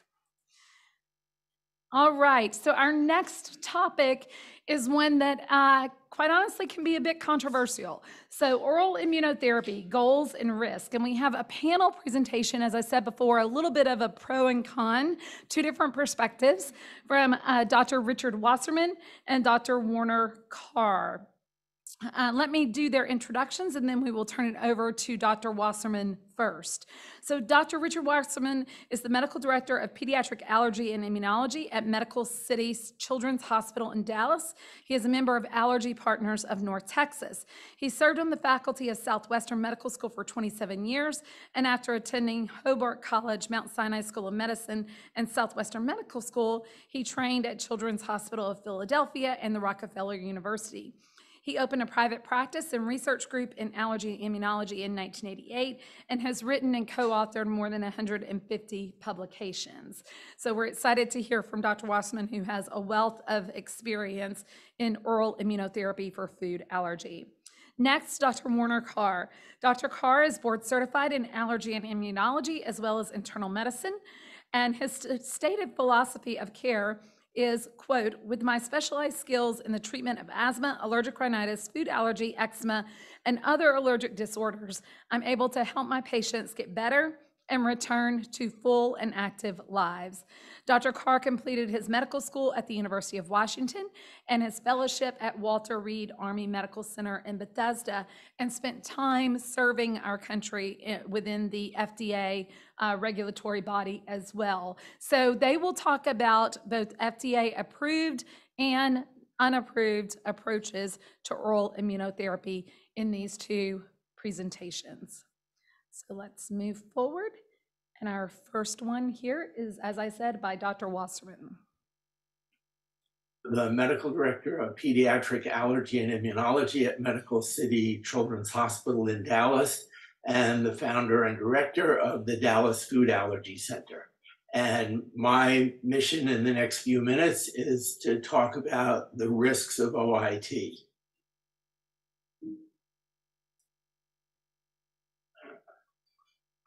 Um, my only disclosure is that I have been a consultant for Aimmune.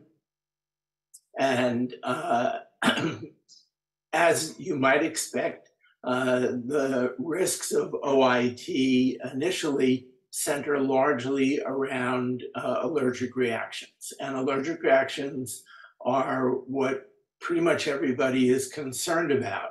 Uh, allergic reactions during OIT uh, range from mild oral itch that goes away all by itself without treatment or with maybe a glass of water or a few crackers, uh, or a single or a few hives uh, on or around the lips, uh, usually caused when the food does not go directly into the mouth and is really more of a contact um, reaction. And then uh, there's always the possibility of a significant reaction that might include widespread hives, uh, nausea, abdominal pain, or vomiting, uh, uh, nasal or eye symptoms, or uh, swelling of the eyes uh, or about the face, cough, wheeze, shortness of breath, a sensation of throat closing, and when several of these occur at the same time, uh, that's anaphylaxis.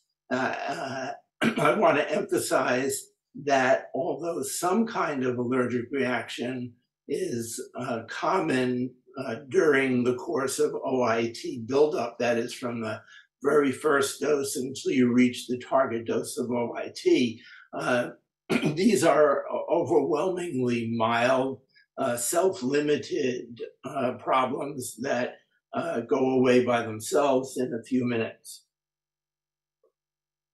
Um, in our uh, experience uh, with um, peanut OIT that we published in 2014, uh, epinephrine treated reactions occurred about one per thousand doses during the escalation period uh, and about two per 10,000 doses uh, during maintenance. Uh, we learned a lot in the past eight years, and I think our rate of serious allergic reactions is lower than it used to be.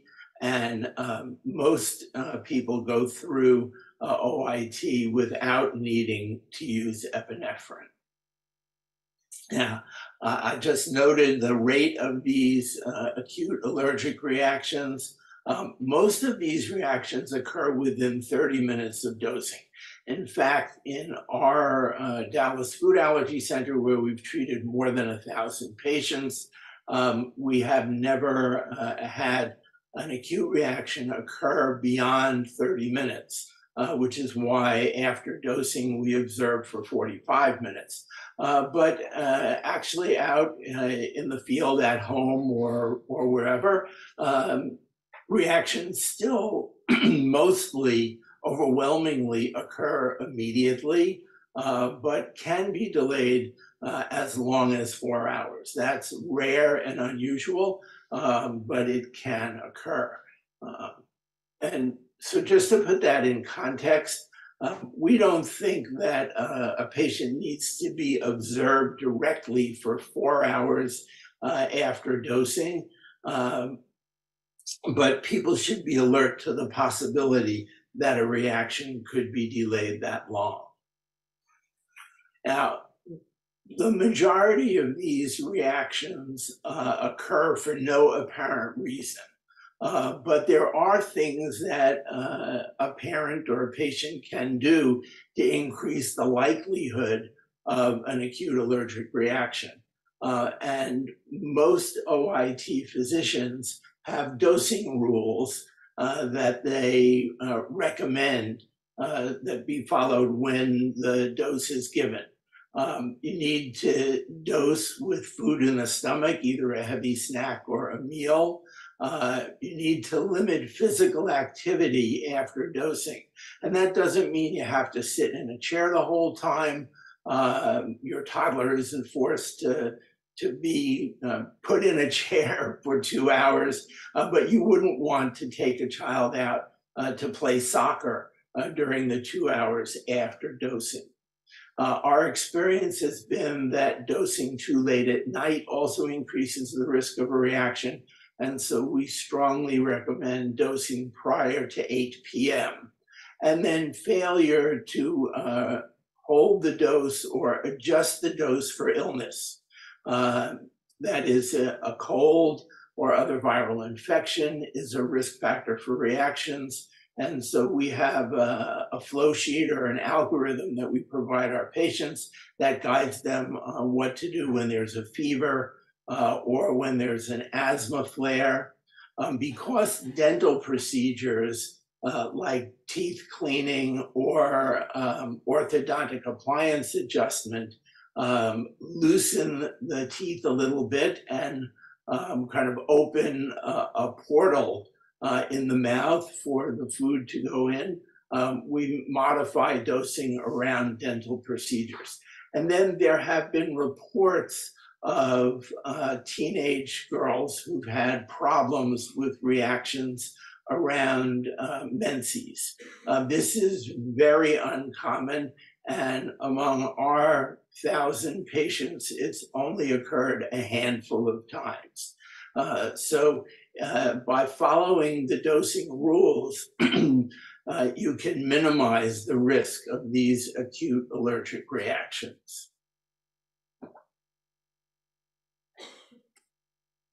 Now, the, the most common uh, side effects of OIT relate to abdominal symptoms.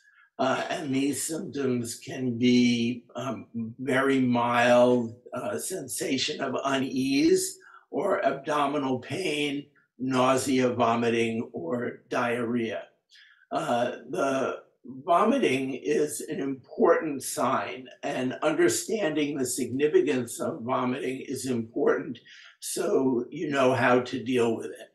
Um, vomiting that occurs during dosing while the food is being taken is almost always caused by aversion to the taste. That is, the, the patient just doesn't like it and it has a hard time getting it down, or sometimes the texture is problematic for them. So immediate dosing during, uh, immediate vomiting during dosing um, is uh, just a sign of that problem and not an allergic reaction. Uh, and uh, we tell people to allow the child to calm down, uh, rinse their mouth, uh, have something that they like to eat, and try dosing again um, 10 or 20 minutes later. Uh, however, vomiting that occurs uh, a few minutes after dosing, up to two hours after dosing, is probably an acute allergic reaction like the kind of reaction that I've already discussed. Uh, now, vomiting that occurs two hours after dosing uh, is, uh, we believe, caused by uh, a syndrome that um, we reported and named uh, ELORS, E-L-O-R-S, for eosinophilic esophagitis-like OIT-related syndrome. And in our experience, this may occur in as many as 10% of patients.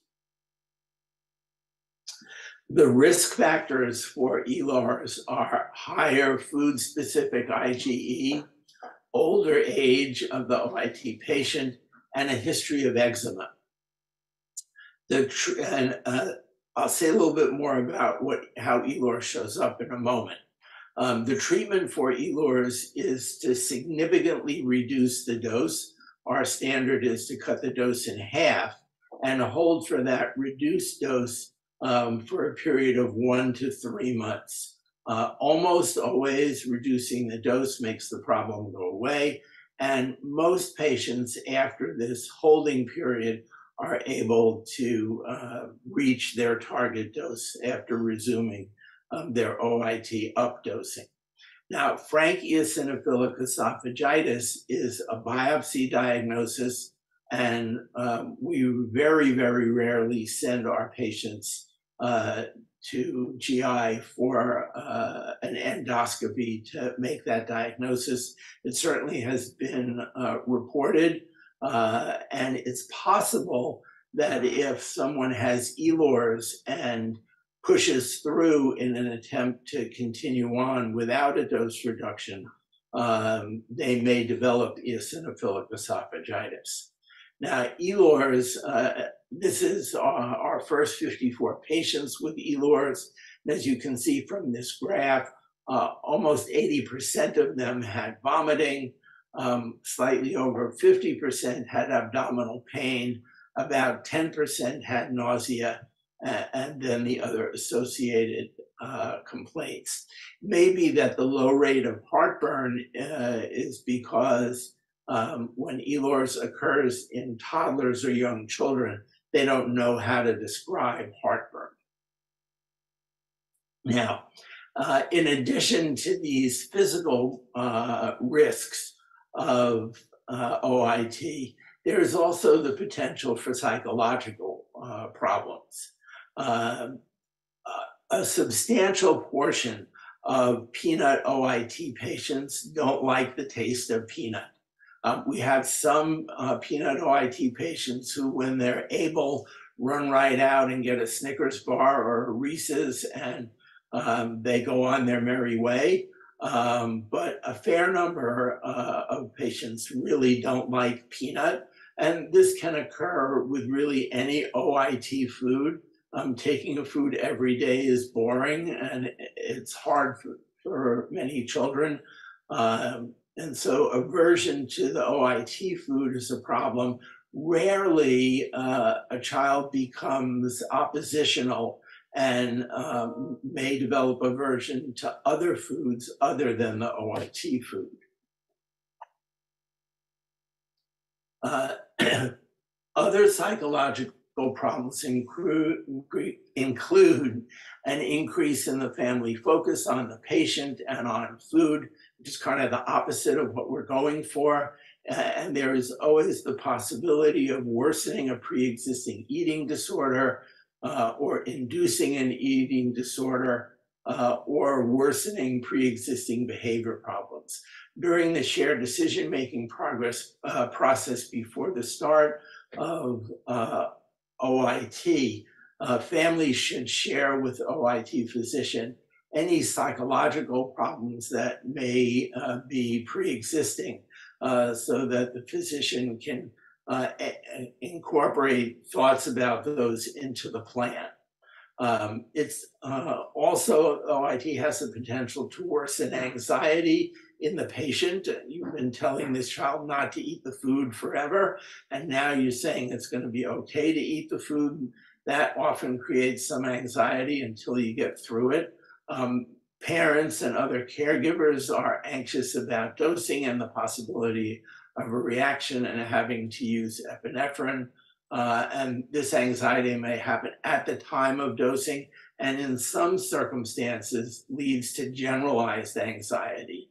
Uh, and involvement of a, a professional, a psychological professional, uh, is often very helpful here. And unless there is uh, a good agreement among family members that OIT is right for this patient, uh, it's possible that the OIT may worsen or even create family discord. Now, everyone who considers OIT should understand that it is a burdensome therapy. Um, regardless of how it's exactly done, uh, initially, at least, it requires many office visits. Uh, those visits may disrupt uh, work or family life. Uh, the dosing itself may disrupt the patient's life. Uh, adjusting the dosing timing either to very early in the morning before school or activities or in the evening after dinner. Uh, dosing may be a problem, especially because of the post dose activity restriction. And this is especially true for the older middle schoolers and high schoolers who are very involved in athletics. Then there is the financial burden uh, of treatment, the cost of treatment, um, the physician's fee, and for the commercially produced product, uh, the cost of the product itself, uh, the cost of travel, uh, and the cost of missed work. And I've already mentioned uh, family discord, which is part of the burden of care. Um, despite all of these risks, 80% of our OIT patients uh, achieve uh, their target dose. It's still a little bit of work. She does not like it. She eats peanut M&Ms and that every time we come to see Dr. Sugarman, he asks her if it's worth it, and every single time she says yes, absolutely. So, uh, OIT, considering uh, having your family member be involved with OIT certainly has risks, and you have to be aware of those risks. Uh, but for the majority of patients, uh, the outcome is a good one. Uh, thank you for your attention, and I look forward to your questions. Thank you, Dr. Wasserman. We're going to move right into Dr. Carr's presentation, and then we'll have Q&A after that for both.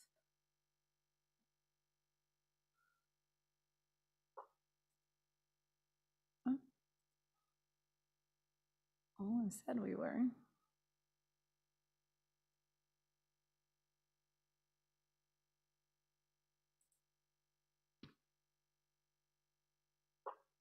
All right. Hello, hello, everybody. Uh, Warner Carr here.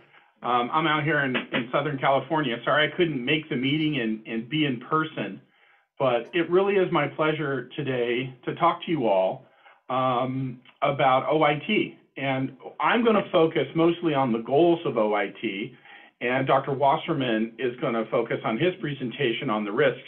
And then I think afterwards we're going to have a little uh, uh, question and answer, and I should be live for that one. So again, my name's Warner Carr, and um, I, I've been doing OIT for quite some time now. This is my disclosures. These are companies that I'm currently either a speaker or a consultant for. And really what I'm going to talk about is goals. And what is our primary number one goal uh, with everybody with food allergy is to decrease the risk of an accidental reaction. So somebody gets an accidental exposure and then they have anaphylaxis. That is what scares everybody. And that is the primary goal, I think, for all patients and families. Uh, however, we, some of these goals we can build on. We're, we're going to talk today a little bit about what bite proof means, free eating, carrying epi, whether or not we need to do those things. Um, but the bottom line, number one, most important, is we want to protect these patients, both adults and children, in the event that there's an accidental exposure and reaction. So what is this concept bite proof? You know, it's funny. I think uh, there's a lot of different definitions of, of bite proof, but just to be simple, it's if they bite something that has peanut in it or they eat it uh, and spit it out um, or eat it and swallow it, that, that they don't have a reaction. So how do we know how much we should be giving and, and how do we know when we've achieved that? If you look at the, the study that we did um, with the FDA approved product, uh, that we published in, I believe it was 2018 in the New England Journal of Medicine. I'm one of the investigators for, for that um, product that's commercially available now. I don't really use it in my practice, but I did the studies. Part of the clinical trial was to do randomized, double blind, placebo controlled food challenges, which we did in every patient. And what we found was that the average patient had a positive food challenge somewhere between 10 milligrams and 30 milligrams, just depending on which food challenge before or after therapy. Um, now, uh, the after therapy group obviously would have been in the placebo group because we know the treatment worked. So about 10 to 30 milligrams is where the average person will have a food reaction in that study.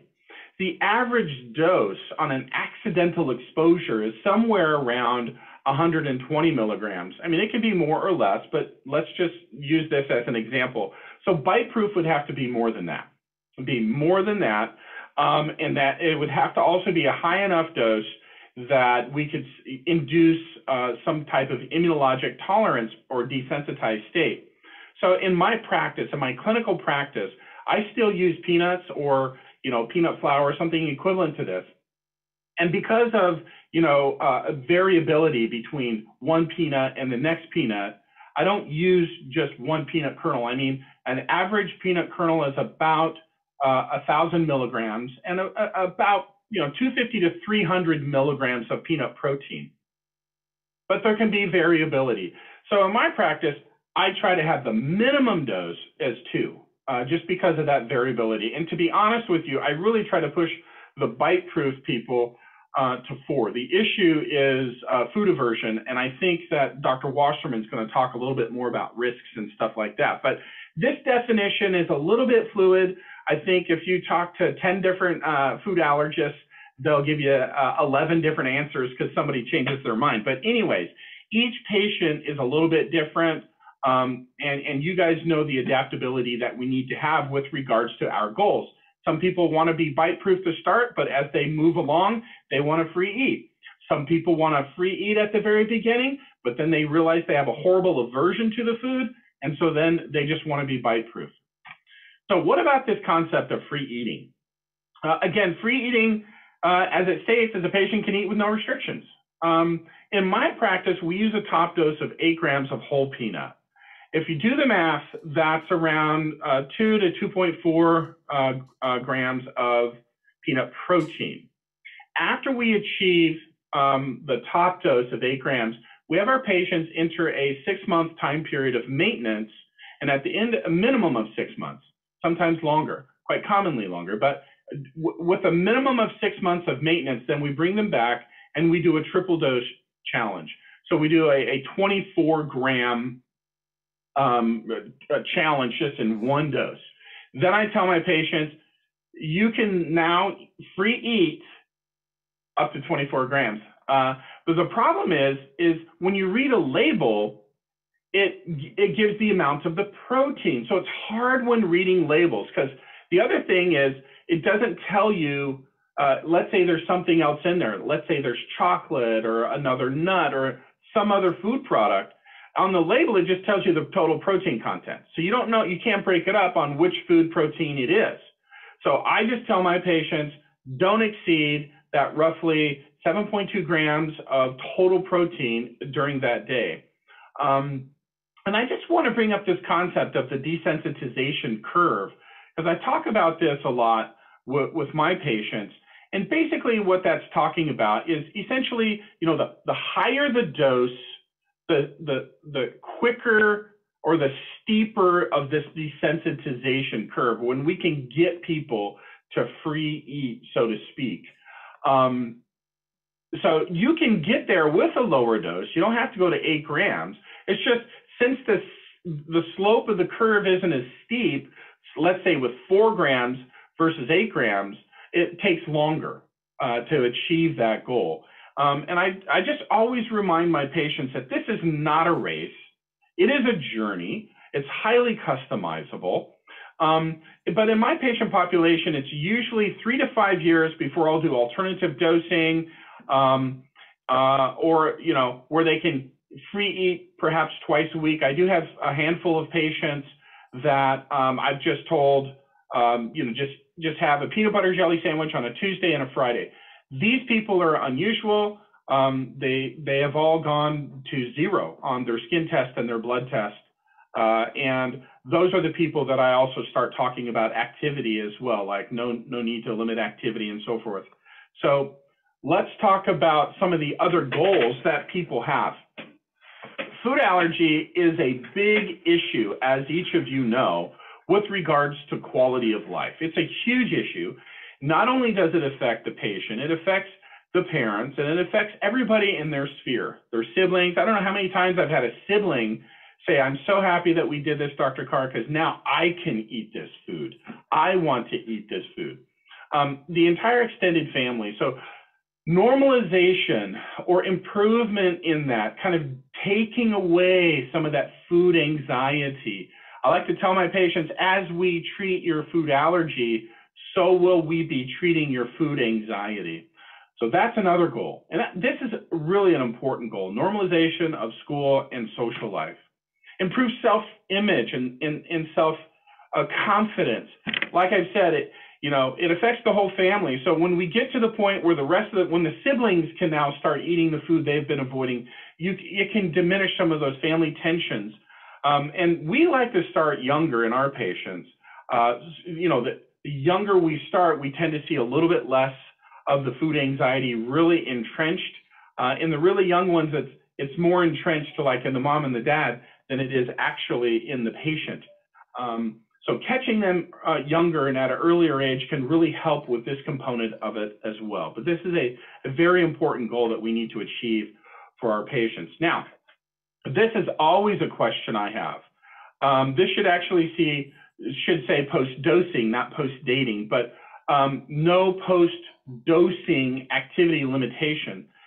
That really, really is a lofty goal. Now, I have achieved it uh, in several of my patients out here in Southern California. There, there's a group of people that are, you know, young men and young women who are trying to get into uh, the military, whether it be one of the military academies or or just into, uh, you know, right into the Army, the Navy, the Air Force, the Marines, the Coast Guard. We've we've done it all here, um, and I've had several of my patients be able to achieve a top dose, um, do maintenance for a period of time, uh, do triple dose, and then what I usually do is do exercise challenges in these people.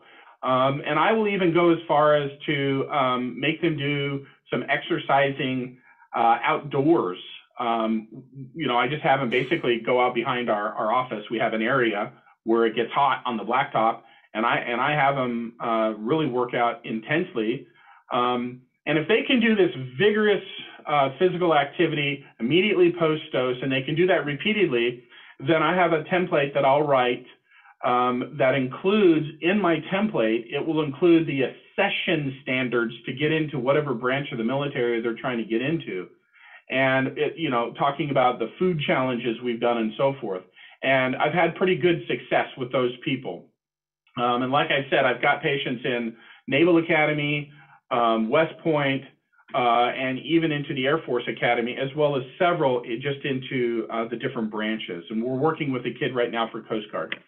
Um, so really, most patients can't do this just immediately. It takes time, energy, and effort. Not everybody's going to be able to do it. It really depends on the severity of their reactions. People that have had a grade three anaphylactic reaction or more, um, I, I, have found it's probably less likely in those patients. Um, however, you know, you you just follow that desensitization curve and you kind of see, you know, some people plateau and they're just not going to go any farther. Those patients, I'm like, this is not for you. Um, so it is a lofty goal, but you can achieve it with a certain subset of patients. Now, what about decreasing dose frequency? Many patients can achieve this during the first year. It really depends on what their long-term goals are. Like I said uh, earlier, um, I look at this desensitization curve business I've been talking about. The higher the dose, I think it's easier than to miss doses. So if you have somebody who's on eight grams every day, um, and they want to switch to every other day, uh, in my brain, that's kind of like doing four grams daily. I don't really think that you lose that much uh, by doing that. So I, I, don't ask my patients to go down to four grams daily. I, I keep them at eight grams, uh, but usually within the first year, I'll let them miss at least one or two days a week. Recall, as we're doing our updosing, um, if something happens and, and, and, a patient misses a dose, we tell them they can go two days without a dose, but on the third day, they need to come back into the office. So we don't want to make this a routine where they're missing two days every week. I'm just saying, even during buildup, there are times when patients don't have to be perfect. Things come up, and we don't always have to down dose. So once they've achieved their maintenance, and they that for a peanut in my practice we do weekly dosing. Um, so that takes about three and a half, four months, depending on on the you know the patient. Could take longer, um, but I like them to stay on maintenance for at least that six months and do the triple dose. And then if they did well on that, we we let them drop uh, at least one day. And then over that three to five year time period, following every year, I repeat skin test, blood test, sometimes more frequent um, then I have several patients that are on every other day, and I have um, you know many patients that are on twice a week as well. I believe the higher the dose, the more likely you are to need less frequent dosing. So if you are a low doser, like if you're at two grams, or if you're using a commercially available product, um, then that's a low dose, and that's you just need to stick with daily dosing in them. I don't think you're going to be able to change the dosing interval uh, that much with the lower doses. All right, this is always a question that people ask me. When do I um, you know, not need to carry epi anymore, Dr. Carr? Well, first off, uh, I live in California. It's a very litigious state. So I always tell people it's better to have it and not need it than need it and not have it. So I always give them epi and I always give them a two pack. And you all know that uh, about, depending on what study you look at, 20 to 30% of patients that need epi need a second dose. So that's why we give them two packs. And there's sometimes there's also device failure. It, it has occurred. Uh, there's multiple reports of it. Um, so I always make sure that they have a two pack. Um, if patients do this on their own, um, it's basically um, a decision they've made once they achieve this quote unquote free eat and they've achieved some of their other milestones that they're they're shooting for. And it usually is going to be kind of in that three to five year uh, time interval of doing a continuous daily OIT, realizing nobody's 100%. Uh, I have had just a, just fair warning. Um, I have had some patients that have returned even after a few years, even after you know three years of doing OIT, um, and they never had any problems. And then out of the blue, they had an anaphylactic reaction. So uh, usually there's some kind of cofactor infection, heat, exercise. Um, you know, they kind of slacked off on their dosing um, and they lost their desensitized state. Um, so I have seen these case reports. So in my practice, I always tell them it's better to be safe than sorry. You should just have the epi. I don't think we have the data yet to say that there is no risk. So as long as there is a risk, I'm going to give it to them. All right, that is the end of my presentation with regards to the goals, and Dr. Wasserman is talking about risk today. I have on this uh, slide here my name, my work email, and my website. Um, please reach out to me uh, if you guys have any questions, and then there's going to be a live session uh, following here very shortly. Thank you so much, Dr. Carr and Dr. Wasserman, for both of those uh, thought-provoking presentations. A couple of follow-up questions that have already come in. The first question is going to go to Dr. Wasserman. Uh, Dr. Wasserman, you spoke about the shared decision-making approach that you use in your practice. Um, how do you approach the topic of appro- FDA-approved versus non-approved treatments? And do you have families that maybe have that bias towards having an FDA-cleared product? Uh, we don't uh, we don't offer treatment uh, with the commercial product. Uh, we've been uh, treating food allergy for 15 years and have used real food to treat food allergy, and so we don't offer the commercial product from our food allergy center. If people want to use the commercial product, uh, they can go to another another food allergist. Okay, thank you for that response.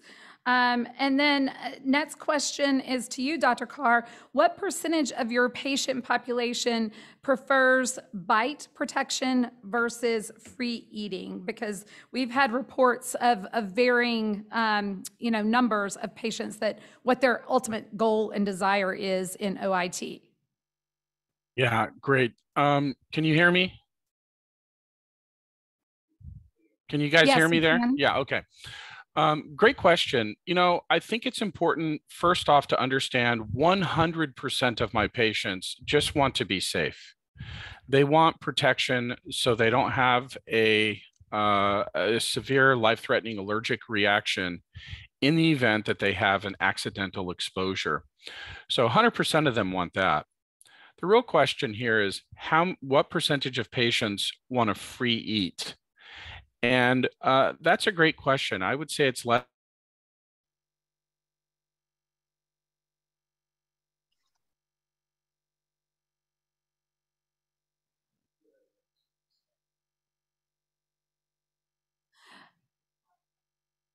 Dr. Carr, can you hear us? We can't hear you. You were mid-sentence and we lost you. Perhaps I can pick up on that before he comes back or until he comes back. Uh, yes, why don't you do that, Dr. Wasserman? Thank you. Sure. So it really depends on the food. uh, in our experience, somewhere around 30 to 40% of uh, peanut treated patients run right out and get a peanut product and love it, but the majority uh, eat peanuts because they have to. So uh, they would be content with the bite proof. I, I, agree with Dr. Carr's point that the higher the dose, the more effective the desensitization. Um, if you shift over to other foods like milk, egg, wheat, uh, and more staple things where they're going to be included in the diet routinely, the overwhelming majority, probably 90 to 95% of people treated for egg, wheat, or milk uh, and similar foods want to be able to routinely incorporate it in their diet and want to be able to free eat. All right, thank you so much. So, yeah, I think that's really um, consistent with what we hear is that the vast majority of patients just want that emergency bite protection, that accidental exposure bite protection, rather than the desire to routinely ingest the food that they have been, you know, sort of conditioned to avoid for most of their life. But um, so, are those that that are a little more adventurous, or perhaps just really want to try that? All right, the well, next. But before question, you go on, I think um, there's an important Carr, issue uh, uh, about that um, with yes, the bite proof. Uh, and, and that is bite proofing with continued avoidance, which is the commercial product standard, is different from bite proofing and not having to worry about avoidance. Uh, so we have patients who will continue to avoid the food, but the freedom of not having to ask or check labels is important to them. So they'll go to a higher dose even though they're only interested in protection against an accident. Great. Thank you for that clarification. Um, next question goes back to Dr. Carr, who I think is back on the line with us. Um, Dr. Carr, how have you successfully been getting approval for military service for your patients, those who have significant food allergy? Are they all managed with OIT? Is that how you're getting them to move forward in that process? Yeah, that's correct. Um, basically, it's best for these people if they uh, start earlier rather than later. So what I do is I, I do OIT, and as I'm documenting my OIT with each updosing visit, I say in my note that the patient had a single dose food challenge. Um, and I have found when I write my ultimate letter um, and I say that they've had multiple food challenges, that's that's very helpful.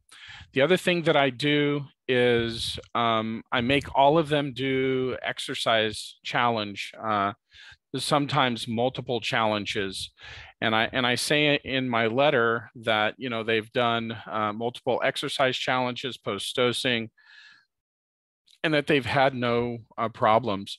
And then what I do is I I pull up the Department of Defense accession standards for whatever branch of the military they are in and i and i quote them you know and then i say below that that the patient has had multiple food challenges they've been able to exercise freely and then i put in language in there like based on this information there is no reason why this patient should not be able to be worldwide deployable and i would request that they grant a waiver and then that gets sent back to DODMERB because um, they failed out at MEPS. And then a reviewer at DODMERB then um, either approves or denies it. Great. Thank you so much for that clarification. I know, you know, this is a question that does come up quite honestly pretty um, frequently from families that have concerns over the limitations that may be placed on their child or young adult's career options. So thank you for sharing that. So final question goes to Dr. Wasserman. Do you have any concern about some allergists who are performing OIT without appropriate, safe protocols for this procedure? I think OIT is complex and there are lots of nuances to the treatment. And there are many of areas of medicine where if there's a standardized, formalized protocol, the outcomes are better. And I think that that would apply to food allergy treatment as well. Uh, I haven't heard of any such practitioners. I guess there are some out there, but I think it's very important to have a standardized formal approach uh, to OIT. Thank you, Dr. Wasserman. We agree. And, and again, um, there are FDA approved and FDA non-approved um, options. We find that families do want to know about all options and make informed decisions. And so we certainly support that shared decision-making process that weighs both the risk and benefits of all available options.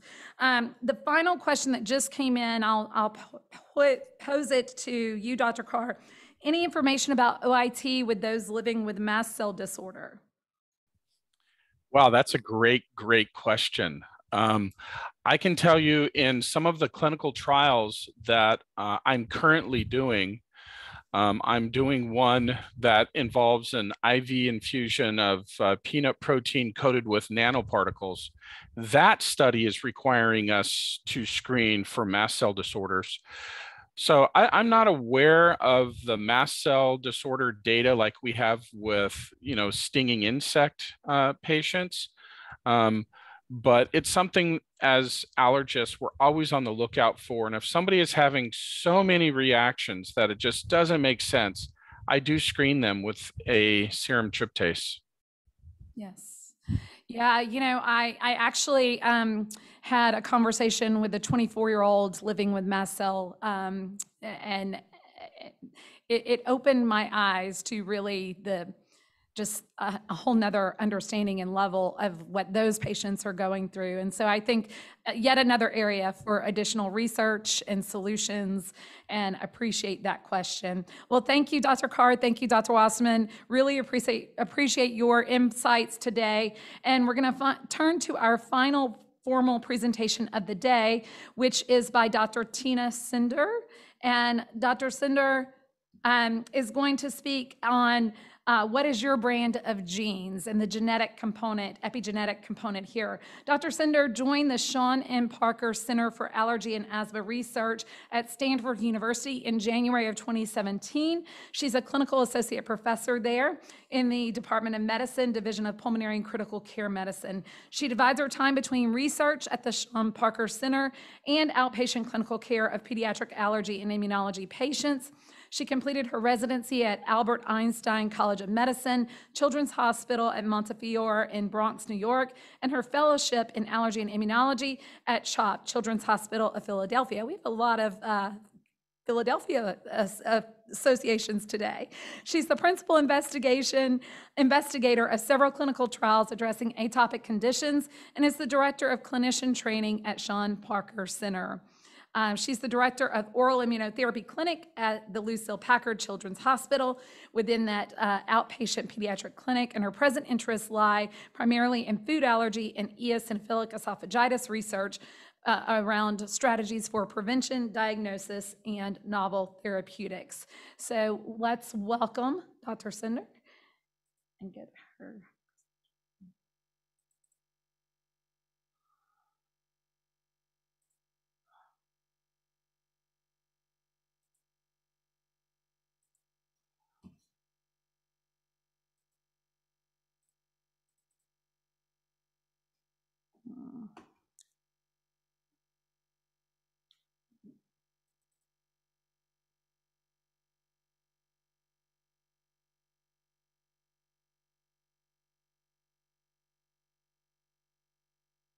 Everyone. Thank you for having me here to speak to you. Um, my name is Dr. Tina Sindher. I'm an allergist and immunologist at Stanford University at the Sean N. Parker Center for Allergy and Asthma Research. And today I'm going to talk to you about genetics and food allergy. What is your brand of genes? Um, this slide just goes over my disclosures. I have received grant support from um, the NIH, from the Consortium of Food Allergy Research, um, Regeneron, DBV, Aimmune, Novartis, and Sanofi, all in the conduct of food allergy related uh, clinical research trials. And I have served as an advisory committee member for AstraZeneca and DBV um, in the space of allergies. As most of you are already aware, the prevalence of food allergy has been rising, not just in the United States, but across all continents. Food allergy is a global issue. The rising burden has prompted more research into not just better therapeutic options and better ways for diagnosis, but also the why. If we better understand the reasons behind the increasing uh, number of food allergy, perhaps we can take steps to prevent it. There are numerous factors that have been implicated in the development of food allergy. Most of these are environmental exposures early in childhood. Um, there is diet, uh, exposure to vitamin D, uh, animals, uh, your microbiome, and what the diet is in early childhood. However, there has been um, tendencies where we've seen a, an hereditary pattern pop up. So as early as 1995, the trend of increased rates in family was noted. The investigators found that allergy was more common in successive generations. So peanut allergy was reported by 0.1% of grandparents, 0.6% of aunts and uncles, 1.6% of parents, and then 6.9% of siblings. The authors found that peanut allergy is more common in siblings of people with peanut allergy and, and deduced that this there must be a hereditary pattern to this. In another study, the investigators looked at 75 pairs of twins where at least one twin had peanut allergy. The investigators found that identical twins were nearly 10 times more likely for both twins to have peanut allergy compared to non-identical twins. It's not just genetics alone, but rather the interaction between the existing background genetics and environmental exposures.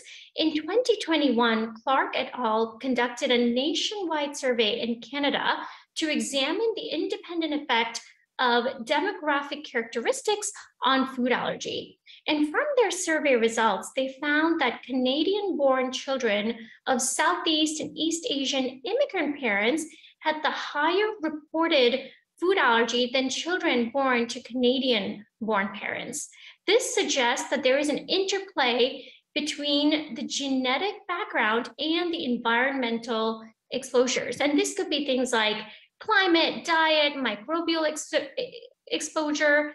Um, and based on the genetic background there is, these sort of different effects result in a differential outcome in food allergy development. A genetic mutation in the skin has also been very well studied, um, and this is these are known as filaggrin mutations. In a population-based study by Brough et al um, published uh, last year, uh, children carrying at least one filaggrin loss of mutation, I'm sorry, at least one filaggrin loss of function mutation were at increased risk for developing peanut allergy if they had high environmental peanut exposure in their bed dust around the time of their birth. And by bed dust, I mean kind of in their bedding, in their environment, in their playroom. And what the authors found was that for each unit increase in peanut dust, there was a six-fold increase in school age peanut sensitization um, over time.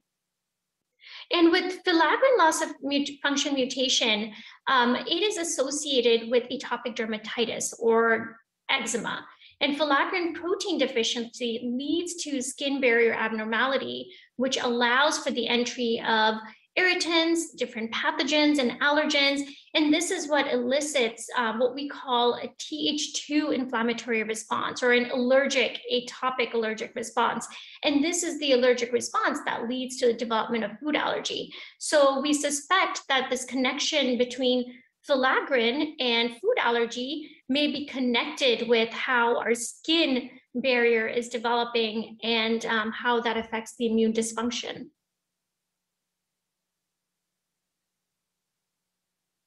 although there has been a lot of evidence that there is a hereditary component of food allergy, our understanding of genetic causes for food allergy is still in its infancy. Several genes have been found to be associated with a higher risk of developing food allergy, such as STAT6, CD14, um, filaggrin, like I just mentioned, IL-13, and other epigenetic modifications, um, such as FOXP3, but we still need to be careful when interpreting this information, such as these genes are not associated, they're only found to be associated, not causative. So this is just a signal for now, and we it's not a definitive confirmed genetic link or or um, guaranteed to lead to food allergy. And then food allergy development is very complex and due to, as I mentioned before, a combination of many different things. So not just genetic and epigenetic, but also environmental factors such as microbiome, diet, early exposure um, to siblings and pets can all be protective. So it's very important to continue our exploration of the process behind food allergy development and keep an eye out for the genetic risk factors that we identify. And the other thing I wanted to mention is, you know, even if someone were found to have a genetic predisposition, um, researchers at the moment are, high, are exploring in great detail strategies for prevention of food, of food allergy. There are three known strategies of food allergy prevention that are currently being explored. Um, studies have shown that exposure to food allergens through the impaired skin barrier may promote the development of food allergy. So there has been increased efforts to see if whether early exposure to skin creams and treating eczema aggressively can actually reduce that risk. Um, some birth cohort studies have also shown that enriched infant formulas that contain pre and probiotics may have a role in prevention of food allergies, very similar to what breast milk has shown to do. And then numerous other studies have shown that earlier exposure to foods, um, dietary diversity may be protected and can reduce the risk of developing food allergy later in life. And this concept of early exposure to food orally while reducing the exposure through your skin and aggressive management of um, the skin barrier is called the dual allergen exposure hypothesis. So in the last five years, several um, large committees such as the American Academy of Pediatrics um, and in Europe have all been exploring um, changing up and highlighting their early exposure guidelines. For instance, the AAP has, is now recommending early exposure to peanut. Um, and then per the EAT study performed in Europe, they are in Europe, there is um, increased recommendation to introduce milk and egg early as well. And in addition to these strategies, there are the six Ds of food allergy prevention that I talk to with all my um, families and patients and research participants. And these include diet, dirt, dogs, dry skin, detergents, and vitamin D. And so the way this all plays out is diet is dietary diversity, so early exposure. Dirt is kind of plays on the hygiene hypothesis and just being outside in nature and playing in dirt. Dogs, apparently dogs bring in a lot of allergens from the outside. So early exposure to dogs has been found to be protective. Dry skin prevention. So this is where moisturizers and early steroid treatment for eczema is can play a role detergents can actually worsen skin barrier dysfunction. So minimizing um, detergent use or just being mindful of what detergents are being used can actually help uh, the skin heal. And then vitamin D, either through sunlight or supplementation, has been found to be protective. And, um, and to end on a note of a patient who has undergone um, one of our food allergy research trials and what their experience has been. And this, of course, is about one of our patients. Um, his name is Fisher. He and another brother, he's one of three siblings, and two of the brothers have food allergy, and his brother was able to um, receive food allergy therapy through his primary allergist, but then Fisher came to our research center to be treated at our center. And I just wanted to share his story saying genetics and heredity aside, we are at a stage in food allergy management where we can actually do something about it. Um, so at six months of age, Fisher was rushed to the hospital with an anaphylactic shock after eating um, a wheat teething biscuit. Another time he went into shock just from walking into a pizza shop where flour was in the air. And now he's 10 and a recent graduate of one of our clinical trials known as Combine. And per his family, he can now eat small portions of multiple foods that he was previously allergic to. No more canceled play dates because other parents were too nervous previously to host him at their house. No more missed opportunities to vacation in remote locations because they were too far from the hospital, and no more constant anxiety around food. And now Fisher is looking forward to eating an English muffin and going fishing for crabs and shrimp foods he previously couldn't even touch.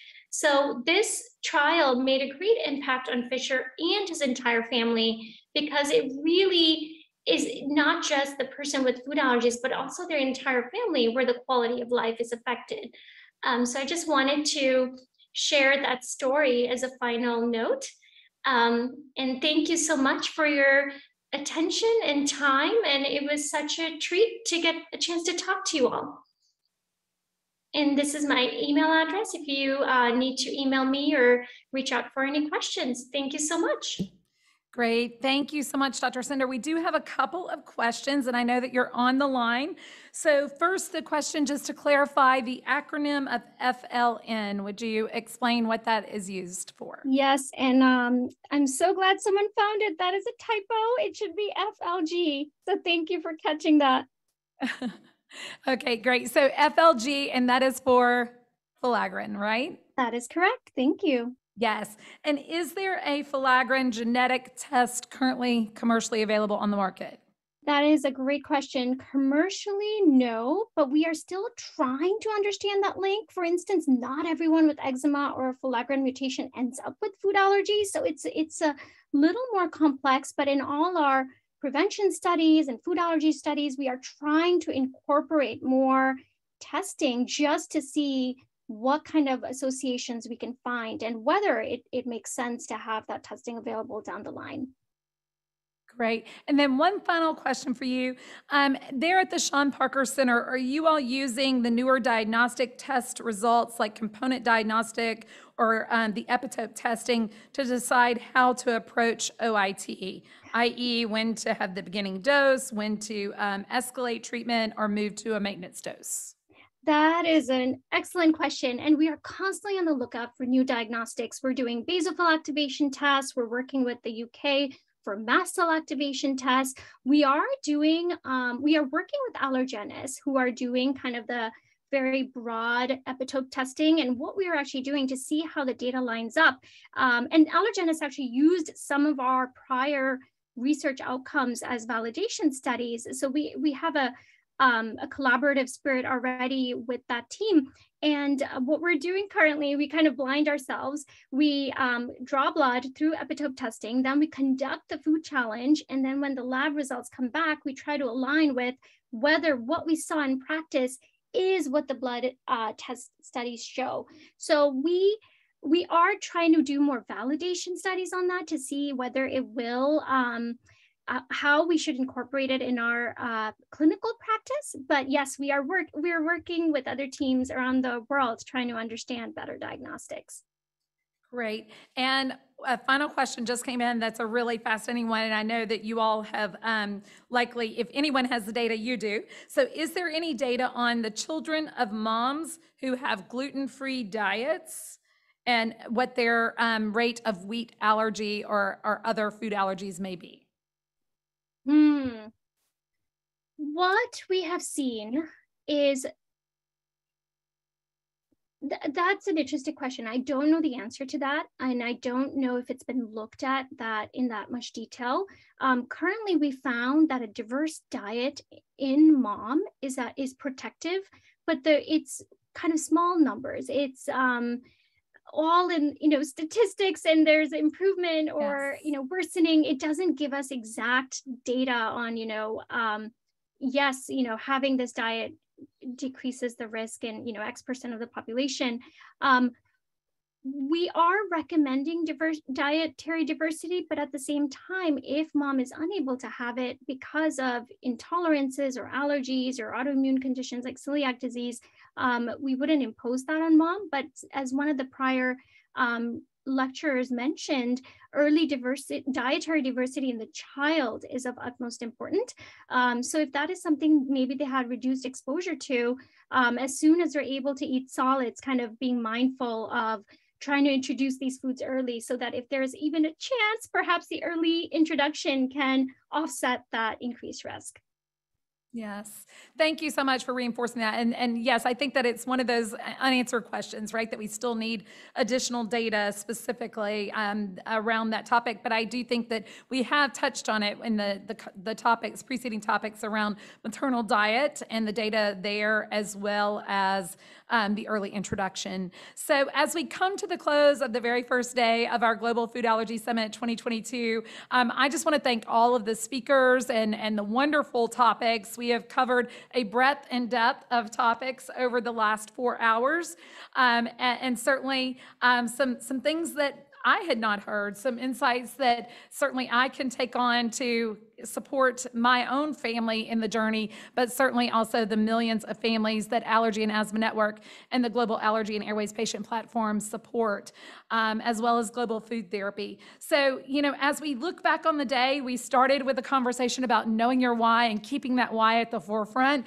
I would challenge you to come back tomorrow and to engage with us as we continue down that journey.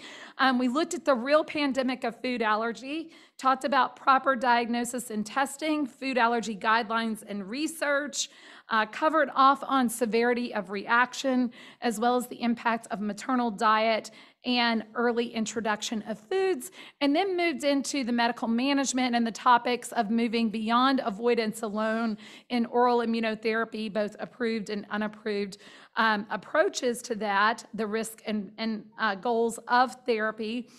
And I think that, again, across the, the entire spectrum of the day, whether we were talking about epigenetics and environment, or maternal diet, or severity of reaction, or proper diagnosis, all of this I keep going back to, we are so much further along than we were just a few years ago.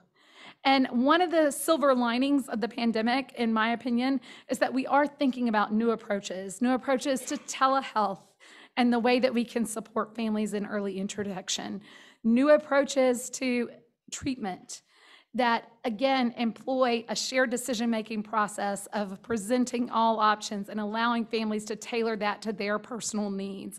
And so I am so incredibly hopeful and excited about what tomorrow will hold in the Global Food Allergy Summit, but also what the future holds for the millions across the globe living with food allergies today.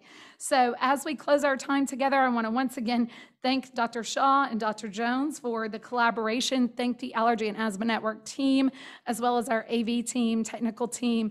Um, to do a hybrid event with 800 people across the world is not easy, and yet uh, I think that we have done it successfully today and look forward to seeing you all at 10 a.m. Eastern Time, US tomorrow. So on behalf of the network and Global Allergy Airways Patient Platform and Global Food Therapy, thank you and have a wonderful day.